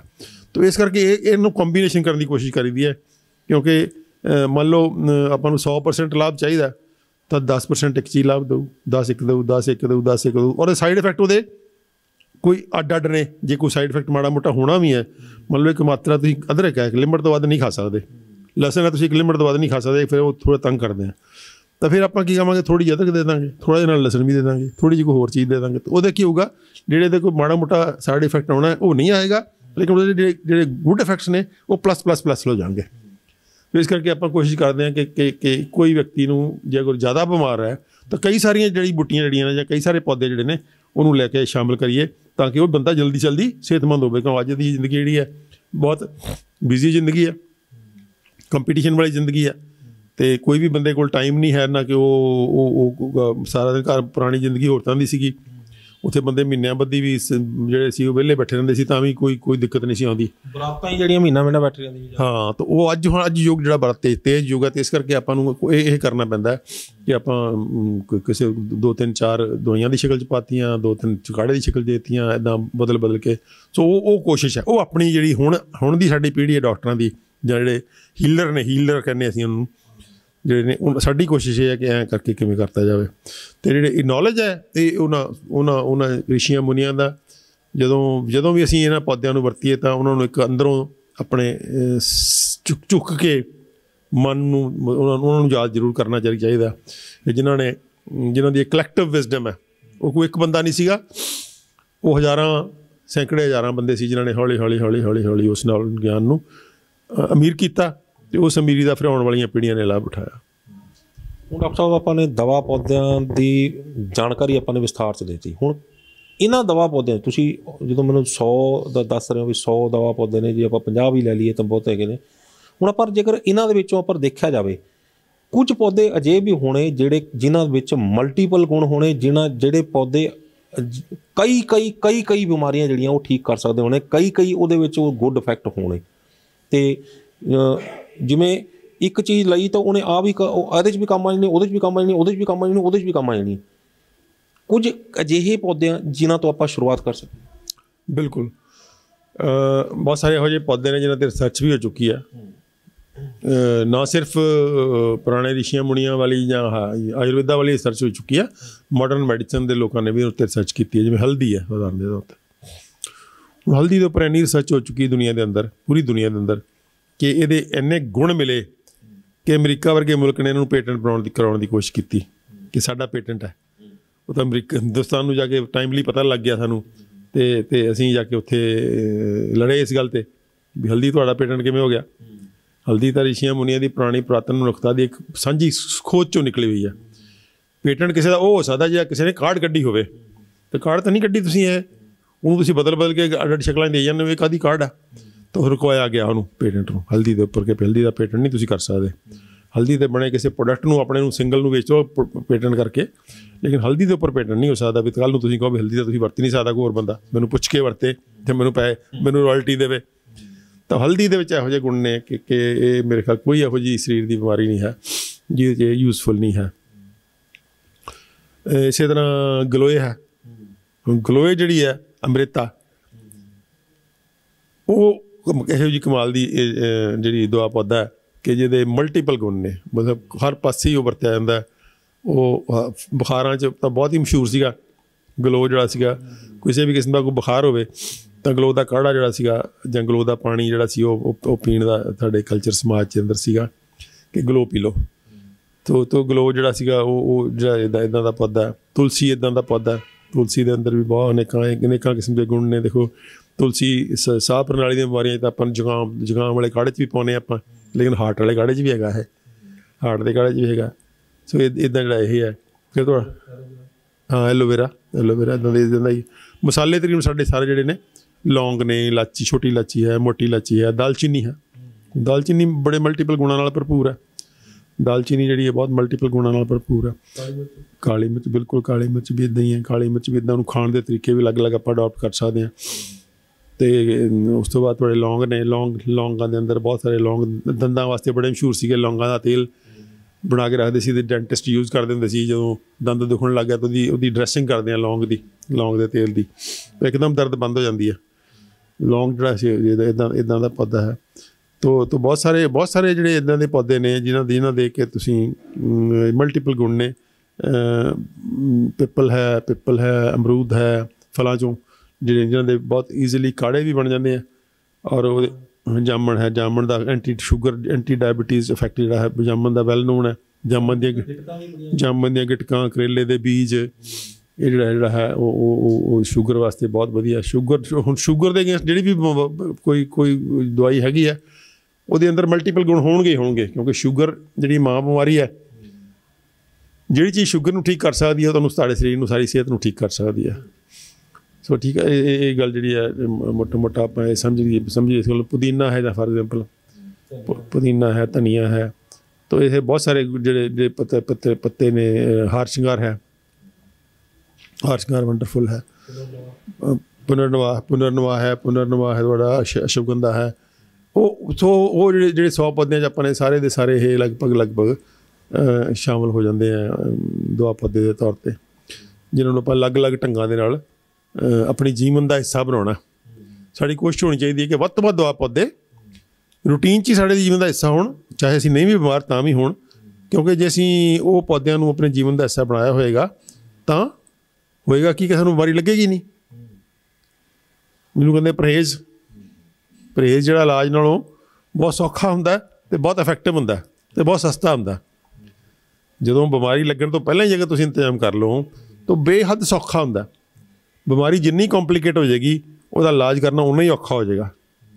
ਸੋ ਬਿਮਾਰ ਹੋਣ ਤੋਂ ਪਹਿਲਾਂ ਹੀ ਕੋਸ਼ਿਸ਼ ਕਰਨੀ ਚਾਹੀਦੀ ਹੈ ਕਿ ਆਪਾਂ ਉਹਨਾਂ ਦਵਾ ਪੌਦਿਆਂ ਨੂੰ ਆਪਣੇ ਜੀਵਨ ਦਾ ਇਸ ਢੰਗ ਨਾਲ ਪਰਵਾਈਏ ਕਿ ਸਾਨੂੰ ਸੋਚਣਾ ਨਾ ਪਵੇ। ਸੋਚਣਾ ਨਾ ਪਵੇ। ਜਿਵੇਂ ਆਪਾਂ ਚਾਹ ਚ ਆਪਾਂ ਸੋਚਦੇ ਹਾਂ ਵੀ ਚਾਹ ਬਣਾਉਣ ਲੱਗੇ ਆਪਾਂ ਉਹਦੇ ਚ ਲਾਚੀ ਵੀ ਪਾਉਨੇ ਆ ਉਹ ਚ ਅਦਰਕ ਵੀ ਪਾਉਨੇ ਆ ਉਹ ਸੌਂਫ ਵੀ ਪਾਉਨੇ ਆ ਉਹਦੇ ਚ ਛੋਟੀ ਮੋ- ਮਾੜੀ ਮਾੜੀ ਛੋਟੀ ਮੋਟੀ ਉਹਦੀ ਵੱਡੀ ਜਾਂ ਮੋਟੀ ਲਾਚੀ ਵੀ ਪਾ ਲੈਂਦੇ ਆ ਥੋੜੀ ਜਿਹੀ ਦਾਲਚੀਨੀ ਵੀ ਪਾ ਲੈਂਦੇ ਆ ਤਾਂ ਇਹ ਇਹ ਕੋਈ ਸੋਚਣ ਦੀ ਲੋੜ ਨਹੀਂ ਪੈਂਦੀ ਸਾਨੂੰ। ਚਾਹ ਬਣਾਉਣ ਲੱਗੇ ਨਾਲ ਦੀ ਆਟੋਮੈਟਿਕ ਸਾਡੇ ਕੋਲ ਰਸੋਈ ਚ ਪਿਆ। ਅਸੀਂ ਰਸੋਈ ਚ ਭੋਰਾ ਗੋ ਪਾਇਆ, ਭੋਰਾ ਗੋ ਪਾਇਆ, ਭੋਰਾ ਗੋ ਪਾਇਆ ਤੇ ਚਾਹ ਕਿਆ ਫਸਟ ਕਲਾਸ ਚਾਹ ਬਣਦੀ ਹੈ। ਉਹ ਮੌਸਮ ਦੇ ਹਿਸਾਬ ਨਾਲ ਫਿਰ ਉਹ ਬਹੁਤ ਚੀਜ਼ਾਂ ਨੂੰ ਵਧਾ ਘਟਾ ਲੈਂਦੇ ਆ ਜਿਵੇਂ ਅਦਰਕ ਵਾਲੀ ਚਾਹ ਹੈ, ਤਾਂ ਗਰਮੀਆਂ 'ਚ ਨਹੀਂ ਪੀਂਦੇ ਆਪਾਂ, ਲੇਕਿਨ ਸਰਦੀਆਂ 'ਚ ਪੀਂਦੇ ਆ ਕਿਉਂਕਿ ਉਹ ਸ- ਸਰਦੀਆਂ ਵਾਸਤੇ ਜ਼ਿਆਦਾ ਜ਼ਿਆਦਾ ਫਾਇਦੇਮੰਦ ਕਿਉਂਕਿ ਜਿਹੜੀ ਆ ਬਲਗਮ ਵਾਲੇ ਰੋਗ ਨੇ ਜਿਹੜੇ ਉਹਨੂੰ ਲੱਗਣ 'ਚ ਰੋਕਣ 'ਚ ਮਦਦ ਕਰਦੀ ਹੈ ਉਹ। ਤੋ ਇਹਦਾ ਸ- ਜਿਹੜਾ ਸੁੱਕੀ ਸ- ਸੁੱਕੀ ਅਦਰਕ ਹੈ, ਸੁੰਡ ਹੈ, ਉਹ ਸੁੰਡ ਦਾ ਇਸਤੇਮਾਲ ਬੜਾ ਕਮਾਲ ਦਾ ਕਿ ਕਰੋਨਾ 'ਚ ਦੇਖਿਆ ਸੀ ਉਹਨੂੰ ਪਪੂਲਰਾਈਜ਼ ਕਰਕੇ, ਤੇ ਬਹੁਤ ਇਫੈਕਟਿਵ ਹੈ ਕਿ ਜੇ ਸੁੰਡ ਦੀ ਤੁਸੀਂ ਨਸਵਾਰ ਲੈ ਲਓ। ਇੱਕ ਭੋਰਾ ਭੋਰਾ ਕੁ ਸੁ- ਕਣਕ ਦੇ ਦਾਣੇ ਜਿੰਨੀ ਸੁੰਡ, ਇੱਕ ਨੱਕ ਚੋਂ ਖਿੱਚੋ, ਦੂਜੇ ਨੱਕ ਚੋਂ ਖਿੱਚੋ, ਉਹਨੂੰ ਮੜ ਲਓ ਨੱਕ ਨੂੰ। ਮਾੜੀ ਜੀ ਖੁਜਲੀ ਜੀ ਹੁੰਦੀ ਹੈ, ਮਾੜਾ ਜਿਹਾ ਪਾਣੀ ਵੱਧ ਆਉਂਦਾ, ਇੱਕ ਦੋ ਚਾਰ ਨਿੱਛਾਂ ਹੋਣਗੀਆਂ 5 ਮਿੰਟ ਚ ਤੁਸੀਂ ਬਿਲਕੁਲ ਠੀਕ ਠਾਕ ਹੋ ਜਾਂਦੇ 5 ਮਿੰਟ ਦਾ ਸਿਰਫ ਉਹ ਮਸਲਾ ਸਾਰਾ। ਤੇ ਉਹ ਇੱਕ ਤੁਹਾਡਾ ਤੁਹਾਡੀ ਸ਼ੀਲਡ ਬਣ ਜਾਂਦੀ ਹੈ, ਜਿਹੜੀ ਤੁਹਾਨੂੰ, ਜਿਹਨੂੰ ਕਹਿੰਦੇ ਆ ਉਹ ਜਿਹਨੇ ਕਿਰਪਾਨ ਨਾਲ ਲੜਦੇ ਹੁੰਦੇ ਸੀ ਤੇ ਢਾਲ ਬਣ ਜਾਂਦੀ ਸੀ। ਸੋ ਤੁਹਾਡੀ ਉਹ ਢਾਲ ਬਣ ਜਾਂਦੀ ਹੈ ਵਾਇਰਸ ਦੇ ਖਿਲਾਫ। ਤੇ ਉਹ ਉਸੇ ਸੁੰਡ ਨੂੰ ਅਸੀਂ ਚੌਥਾ ਕਿੱਸਾ ਚਮਚ ਦਾ ਜੀਭ ਤੇ ਰੱਖ ਲੈਂਦੇ ਆ ਤੇ ਉਹ ਉਹ ਉਹ ਜਿਹੜਾ ਹੈ, ਸਾਡੇ ਮੂੰਹ ਦਾ ਜਿਹੜਾ ਸਾਰਾ ਸਿਸਟਮ ਹੈ, ਉਹ ਵਾਇਰਸ ਦੇ ਖਿਲਾਫ ਸਾਡੀ ਢਾਲ ਬਣ ਜਾਂਦੀ ਹੈ।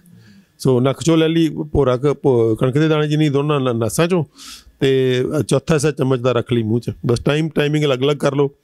ਜਿਹੜਾ ਹੈ ਖਾਲੀ ਪੇਟ ਰੱਖੋ ਨਸਵਾਰ ਸੁੰਘ ਲਓ, ਉਹਦੀ ਨਸਵਾਰ ਵਾਂਗੂ ਸੁੰਘ ਲਓ, ਸਵੇਰੇ ਤੇ ਸ਼ਾਮ ਨੂੰ। ਤੇ ਖਾਣਾ ਖਾਣ ਤੋਂ ਬਾਅਦ ਚੌਥਾ ਕੁ ਹਿੱਸਾ ਚਮਚ ਦਾ ਤੇ ਜੀਭ ਤੇ ਰੱਖ ਲਓ। ਉੱਥੇ ਮੂੰਹ 'ਚ ਘੋਲ ਦਿਓ। ਸੋ ਇਹ ਇਹ ਇਹ ਬੜਾ ਕਮਾਲ ਦਾ ਕਮਾਲ ਦਾ ਹੈ, ਨੁਸ- ਨੁਸਖਾ ਹੈ। ਇਸੇ ਤਰ੍ਹਾਂ ਆਪਾਂ ਲਸਣ ਹੈ ਜਿਹੜਾ, ਹੁਣ ਅੱਜ ਤੁਸੀਂ ਆਪਾਂ ਆਪਾਂ ਜਿਹੜੀ ਜ- ਜਿਸ ਬਿਮਾਰੀ ਤੋਂ ਡਰਾ ਰੱਖਿਆ ਇਹਨਾਂ ਨੇ ਕਰੋਨਾ ਨਾਮਕ ਜਿਹੜਾ ਭੂਤ ਸਾਡੇ ਸਿਰ ਤੇ ਸਵਾਰ ਕਰ ਰੱਖਿਆ ਇਹਨਾਂ ਨੇ। ਉਹਦੇ ਚ ਅ, ਬੜੀਆਂ ਕਮਾਲ ਦੀਆਂ ਚੀਜ਼ਾਂ ਨੇ ਲਸਣ। ਹੁਣ ਲਸਣ ਦੀ ਇੱਕ ਪੋਥੀ ਇੱਕ ਪੋਥੀ ਜੇ ਤੁਸੀਂ ਮੂੰਹ 'ਚ ਰੱਖ ਲਓ ਤੇ ਮੂੰਹ 'ਚ ਹੀ ਉਹਨੂੰ ਘੋਲ ਦਿਓ। ਮਾੜੀ ਮਾੜੀ ਮਾੜੀ ਮਾੜੀ ਜਿਹਨੂੰ ਕਹਿੰਦੇ ਉਹ ਚਿੜੀ ਚੁੰਝ ਤੋੜੀ ਜਾਓ ਉਹਨੂੰ। ਤਾਂ ਉਹ ਲਗਭਗ ਘੰਟਾ ਲੱਗ ਜਾਂਦਾ ਉਹਨੂੰ ਘੁਲਦਿਆਂ ਘੁਲਦਿਆਂ। ਤੇ ਉਹ ਕੈਸਾ ਐਸੀ ਐਸੀ ਤੁਹਾਡੇ ਤੁਹਾਡਾ ਤੁਹਾਨੂੰ ਜਿਹੜੀ ਹੈ ਉਹ ਤੁਹਾਨੂੰ ਵਾਇਰਲ ਵਾਇਰਲ ਵਾਇਰਸ ਪ੍ਰੂਫ ਕਰ ਦਿੰਦਾ ਲਸਣ ਜਿਹੜਾ। ਹਾਲਾਂਕਿ ਉਹਦੇ ਮਲਟੀਪਲ ਗੁਣ ਨੇ। ਔਰ ਲਸਣ ਜਦੋਂ ਵੀ ਖਾਣਾ ਤਾਂ ਲਸਣ ਇਸ ਢੰਗ ਨਾਲ ਖਾਣਾ ਕਿ ਮੂੰਹ 'ਚ ਘੁਲਿਓ। ਮੂੰਹ 'ਚ ਘੁਲੇਗਾ ਤਾਂ ਜਿਹੜੇ ਜਿਹੜੇ ਮਨੁੱਖੀ ਲੱਭ ਹੁੰਦਾ ਥੁੱਕ ਹੁੰਦੀ ਹੈ, ਉਹਦੇ ਨਾਲ ਮਿਲ ਕੇ ਲਸਣ ਇੱਕ ਬਹੁਤ ਵੰਡਰਫੁਲ ਦਵਾਈ ਬਣ ਜਾਂਦਾ ਜੇ ਤੁਸੀਂ ਲਸਣ ਕੱਚਾ ਖਾਇਆ, ਤਾਂ ਤਾਂ ਹੈ। ਫਿਰ ਕੱਚਾ ਵੀ ਮੂੰਹ 'ਚ ਘੋਲ ਕੇ ਖਾਇਆ, ਅਸਲ ਉਹ ਹੈ। ਕੱਚਾ ਲਸਣ ਮੂੰਹ 'ਚ ਘੋਲ ਕੇ ਖਾਇਆ, ਤਾਂ ਉਹ ਅਸਲ ਦਵਾ ਹੈ। ਜੇ ਕੱਚਾ ਲਸਣ ਤੁਸੀਂ ਕੱਟ ਕੇ ਵੈਸੇ ਨਗਾ ਲਿਆ, ਤਾਂ ਉਸ ਤੋਂ ਥੋੜੀ ਘੱਟ ਇਫੈਕਟਿਵ ਹੋਊਗੀ ਉਹ, ਪੂਰੀ ਇਫੈਕਟਿਵ ਨਹੀਂ ਹੋਊਗੀ, ਕਿਉਂਕਿ ਸਲਾਈਵਾ ਦੇ ਨਾਲ ਨਹੀਂ ਰਲੀ। ਤੇ ਜੇ ਤੁਸੀਂ ਲਸਣ ਸਬਜ਼ੀ 'ਚ ਪਾ ਲਿਆ, ਤਾਂ ਉਹਦੀ ਕੋਈ ਬਹੁਤੀ ਮੈਡੀਸਨਲ ਵੈਲਿਊ ਨਹੀਂ ਰਹਿੰਦੀ, ਉਹ ਸਿਰਫ ਟੇਸਟ ਦੀ ਵੈਲਿਊ ਰਹਿ ਜਾਂਦੀ ਹੈ। ਜੋ ਤੁਹਾਡੀ ਸਬਜ਼ੀ ਨੂੰ ਉਹਨੇ ਅ, ਸਵਾਦ ਸਵਾਦ ਤਾਂ ਬਣਾਤਾ ਲੇਕਿਨ ਉਹਦੇ ਜਿਹੜੇ ਦਵਾ ਗੁਣ ਨੇ ਉਹ ਖਤਮ ਹੋ ਗਏ ਕੁੱਕ ਕਰਨ ਨਾਲ।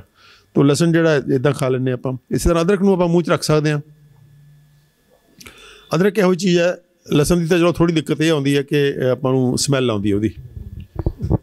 ਆਪਾਂ ਬਾਹਰ ਜਾਵਾਂਗੇ ਤਾਂ ਆਪਣੇ ਮੂੰਹ 'ਚ ਸਮੈਲ ਆਏਗੀ ਲਸਣ ਦੀ। ਲੇਕਿਨ ਅਦਰਕ ਦੀ ਕੋਈ ਸਮੈਲ ਨਹੀਂ ਹੈ। ਆਪਾਂ ਆਪਾਂ ਆਪਾਂ ਮੰਨ ਲਓ ਕੰਮ ਕਰ ਰਹੇ ਹਾਂ। ਉਧਰੋਂ ਚੱਲ ਰਿਹਾ ਵਾਇਰਲ ਚੱਲ ਰਿਹਾ ਵਾਇਰਲ ਦਾ ਐਪੀਡੈਮਿਕ ਚੱਲ ਰਿਹਾ ਤਾਂ ਥੋ- ਜੇਬ 'ਚ ਰੱਖੋ ਆਪਣੀ ਲਸਣ ਅਦਰਕ, ਸਣੇ ਛਿਲਕੇ, ਧੋ ਕੇ ਮਾੜਾ ਜਿਹਾ ਟੁ- ਟੁਕੜਾ ਤੋੜਿਆ, ਮੂੰਹ 'ਚ ਰੱਖ ਲਿਆ। ਉਹ ਛਿਲਕਾ ਕਿੰਨਾ ਕੁ ਹੁੰਦਾ ਉਹਦਾ? ਤਾਂ ਉਹਨੂੰ ਮੂੰਹ 'ਚ ਰੱਖ ਲਿਆ, ਜਦੋਂ ਉਹ ਘੁਲ ਗਿਆ, ਅੱਧੇ ਘੰਟੇ ਬਾਅਦ, ਉਦੋਂ ਬਾਅਦ ਜੇ ਕੁਛ ਅਜੇ ਵੀ ਹੋਰ ਖਾਣਾ ਪੀਣਾ ਨਹੀਂ ਹੈ ਜੇ ਕੋਈ, ਜਦੋਂ ਕੋਈ ਖਾਲੀ ਮੂੰਹ ਮੂੰਹ ਮੂੰਹ ਬਹੁਤਾ ਨਹੀਂ ਚੱਲਣਾ, ਤਾਂ ਫਿਰ ਰੱਖ ਲਿਆ। ਉਹ ਦਿਨ 'ਚ ਚਾਰ ਵਾਰੀ ਵੀ ਤੁਸੀਂ ਅਦਰਕ ਦਾ ਨਿੱਕਾ ਨਿੱਕਾ ਟੋਟਾ ਰੱਖ ਲਓਗੇ। ਤਾਂ ਤੁਹਾਨੂੰ ਕੋਈ ਜੱਜ ਨਹੀਂ ਕਰ ਸਕੇਗਾ ਤੁਹਾਨੂੰ ਤੁਹਾਡੇ ਤੇ ਕੋਈ ਤੁਹਾਡੇ ਰੂਟੀਨ 'ਚ ਕੋਈ ਉਹਦੀ ਦਖਲਅੰਦਾਜ਼ੀ ਨਹੀਂ ਹੋਏਗੀ।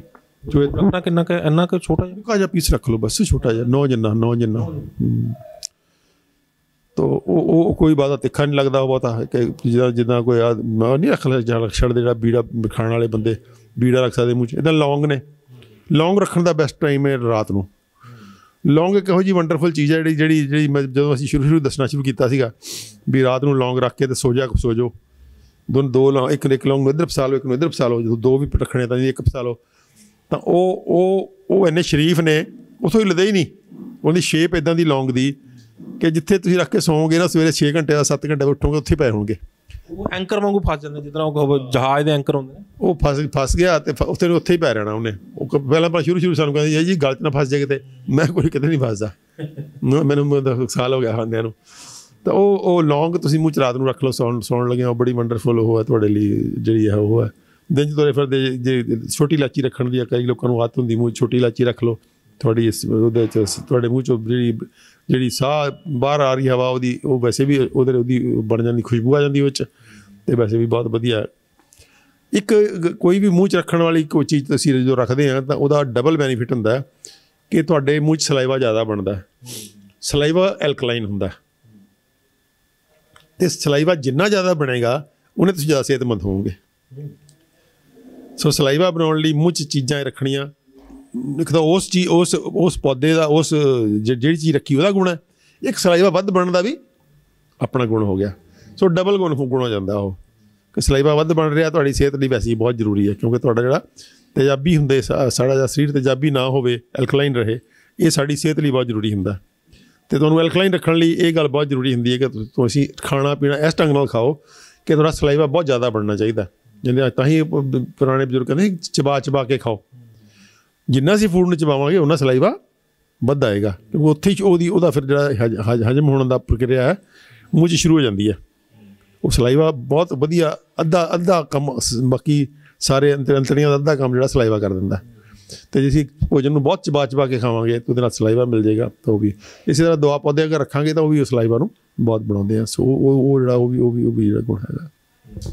ਹੁਣ ਡਾਕਟਰ ਸਾਹਿਬ ਇਹ ਤੁਸੀਂ ਸਾਰਾ ਦੱਸਿਆ ਹੈਗਾ ਹੁਣ ਥੋੜਾ ਜਿਹਾ ਇਹਨਾਂ ਨੂੰ ਕਾੜੇ ਬਣਾਉਣ ਦੀ ਜਿਹੜੀ ਵਿਧੀ ਹੈਗੀ ਆ ਵੀ ਕਿਸ ਤਰ੍ਹਾਂ ਤੇ ਕਿਹੜਾ ਕਾੜਾ ਜਿਹੜਾ ਉਹ ਕਿਹੜੀ ਬਿਮਾਰੀ ਦੇ ਵਿੱਚ ਆ- ਆਊਗਾ ਉਹ ਵੀ ਥੋੜਾ ਦੱਸ ਦਿਓ मैं दर्शकों को बताना चाहूँगा डॉक्टर अमर सिंह आज़ाद जो M B B S M D हैं मैं आचार्य मनीष हमारे साथ डॉक्टर अवधेश पांडे वो भी M B B S M D हैं डॉक्टर विश्वरूप राय चौधरी डॉक्टर खादर वली और हमारे पास 250 डॉक्टर्स की टीम हमारी पूरी टीम ने मिल के पूरे भारत से शुगर को बीपी को, जो गोलियाँ खिलाकर कंट्रोल करने का जो साइंस चल रही है, जिसको मेडिकल माफिया बोलते हैं, जो ये बोलता है कि गोली खा के कंट्रोल होती है, हम बिना दवाइयाँ, शुगर को भी बीपी को भी रिवर्स करना सिखा रहे हैं। तो आप हिम्स हॉस्पिटल चंडीगढ़ में संपर्क करो।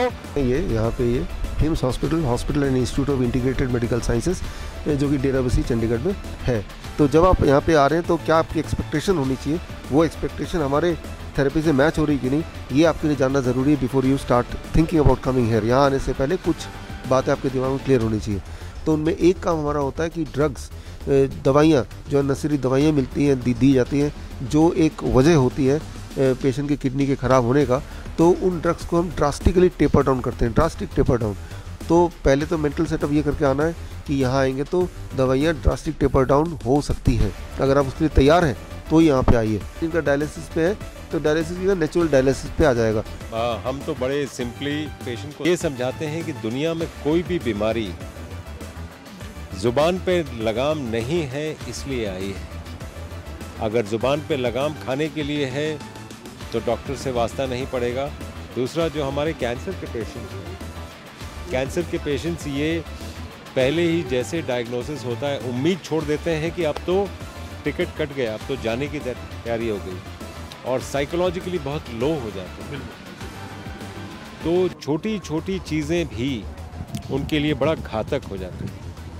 हम सबसे पहले उनको ये समझाते हैं कि ये जो कैंसर है ये आपका अपना सेल है जो इस स्थिति में आया है।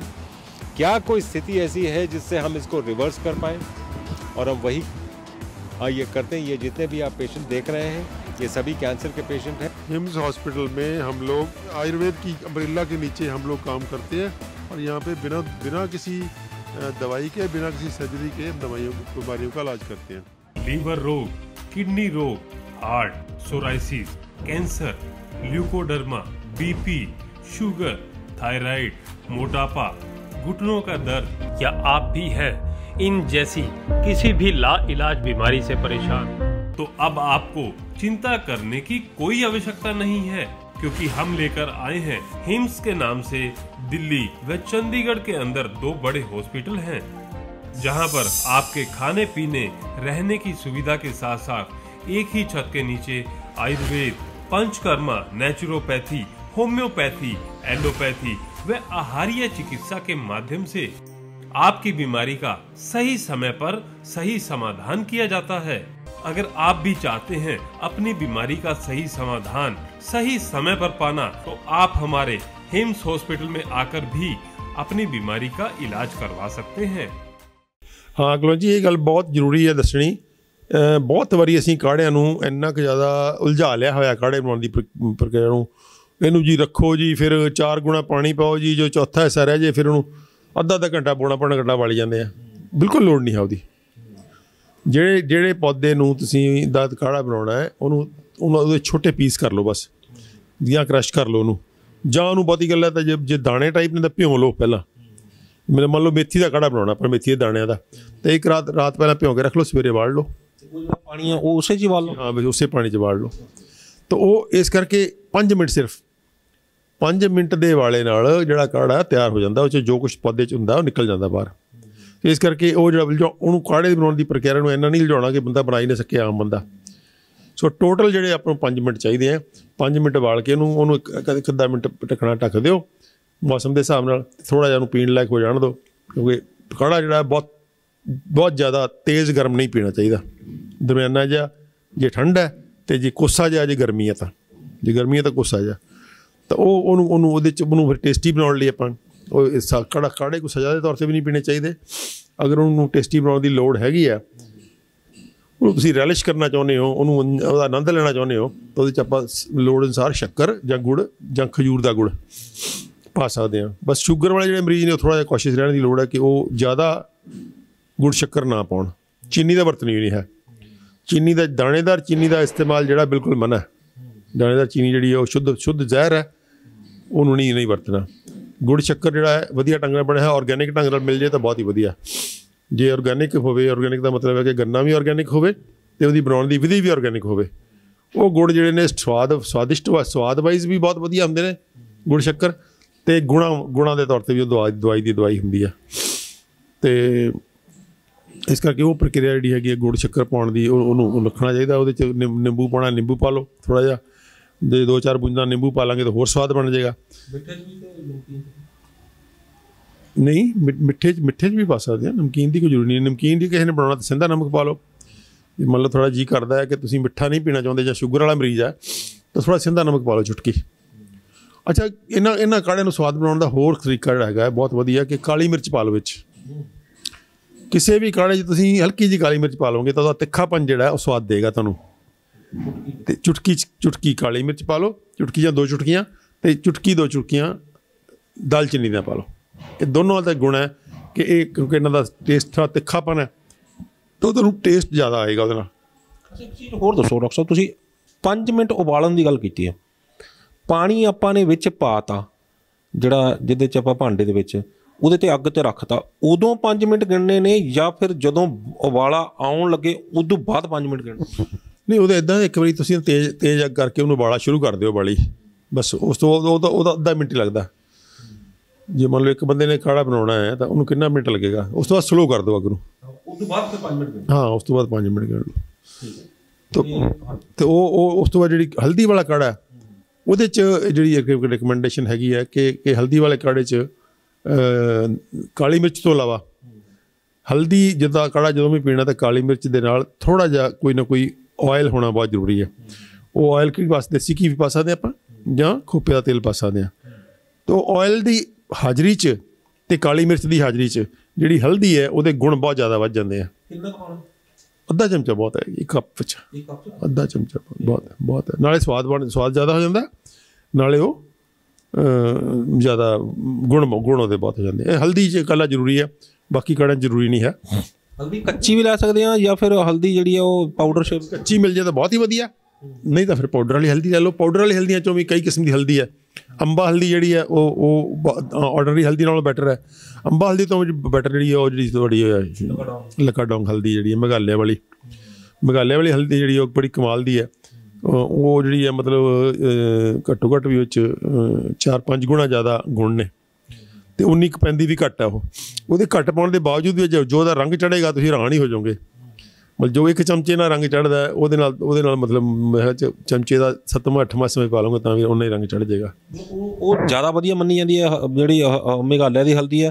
ਤੇ ਉਹਦੇ ਚ ਕਿਹੜੇ ਕਿਹੜੇ ਗੁਣ? ਉਹ ਤੇ ਮੈਨੂੰ ਲੱਗਦਾ ਕੈਂਸਰ ਨੂੰ ਰੋਕਣ ਦੇ ਤੇ ਕਾਫੀ ਗੁਣ ਹਾਂ ਹਲਦੀ ਦੇ ਅੰਦਰ ਤਾਂ ਜੇ ਦੇਖੋ ਜ਼ੁਕਾਮ ਠੀਕ ਕਰਨ ਤੋਂ ਲੈ ਕੇ ਕੈਂਸਰ ਰੋਕਣ ਤੱਕ ਦੇ ਗੁਣ ਨੇ।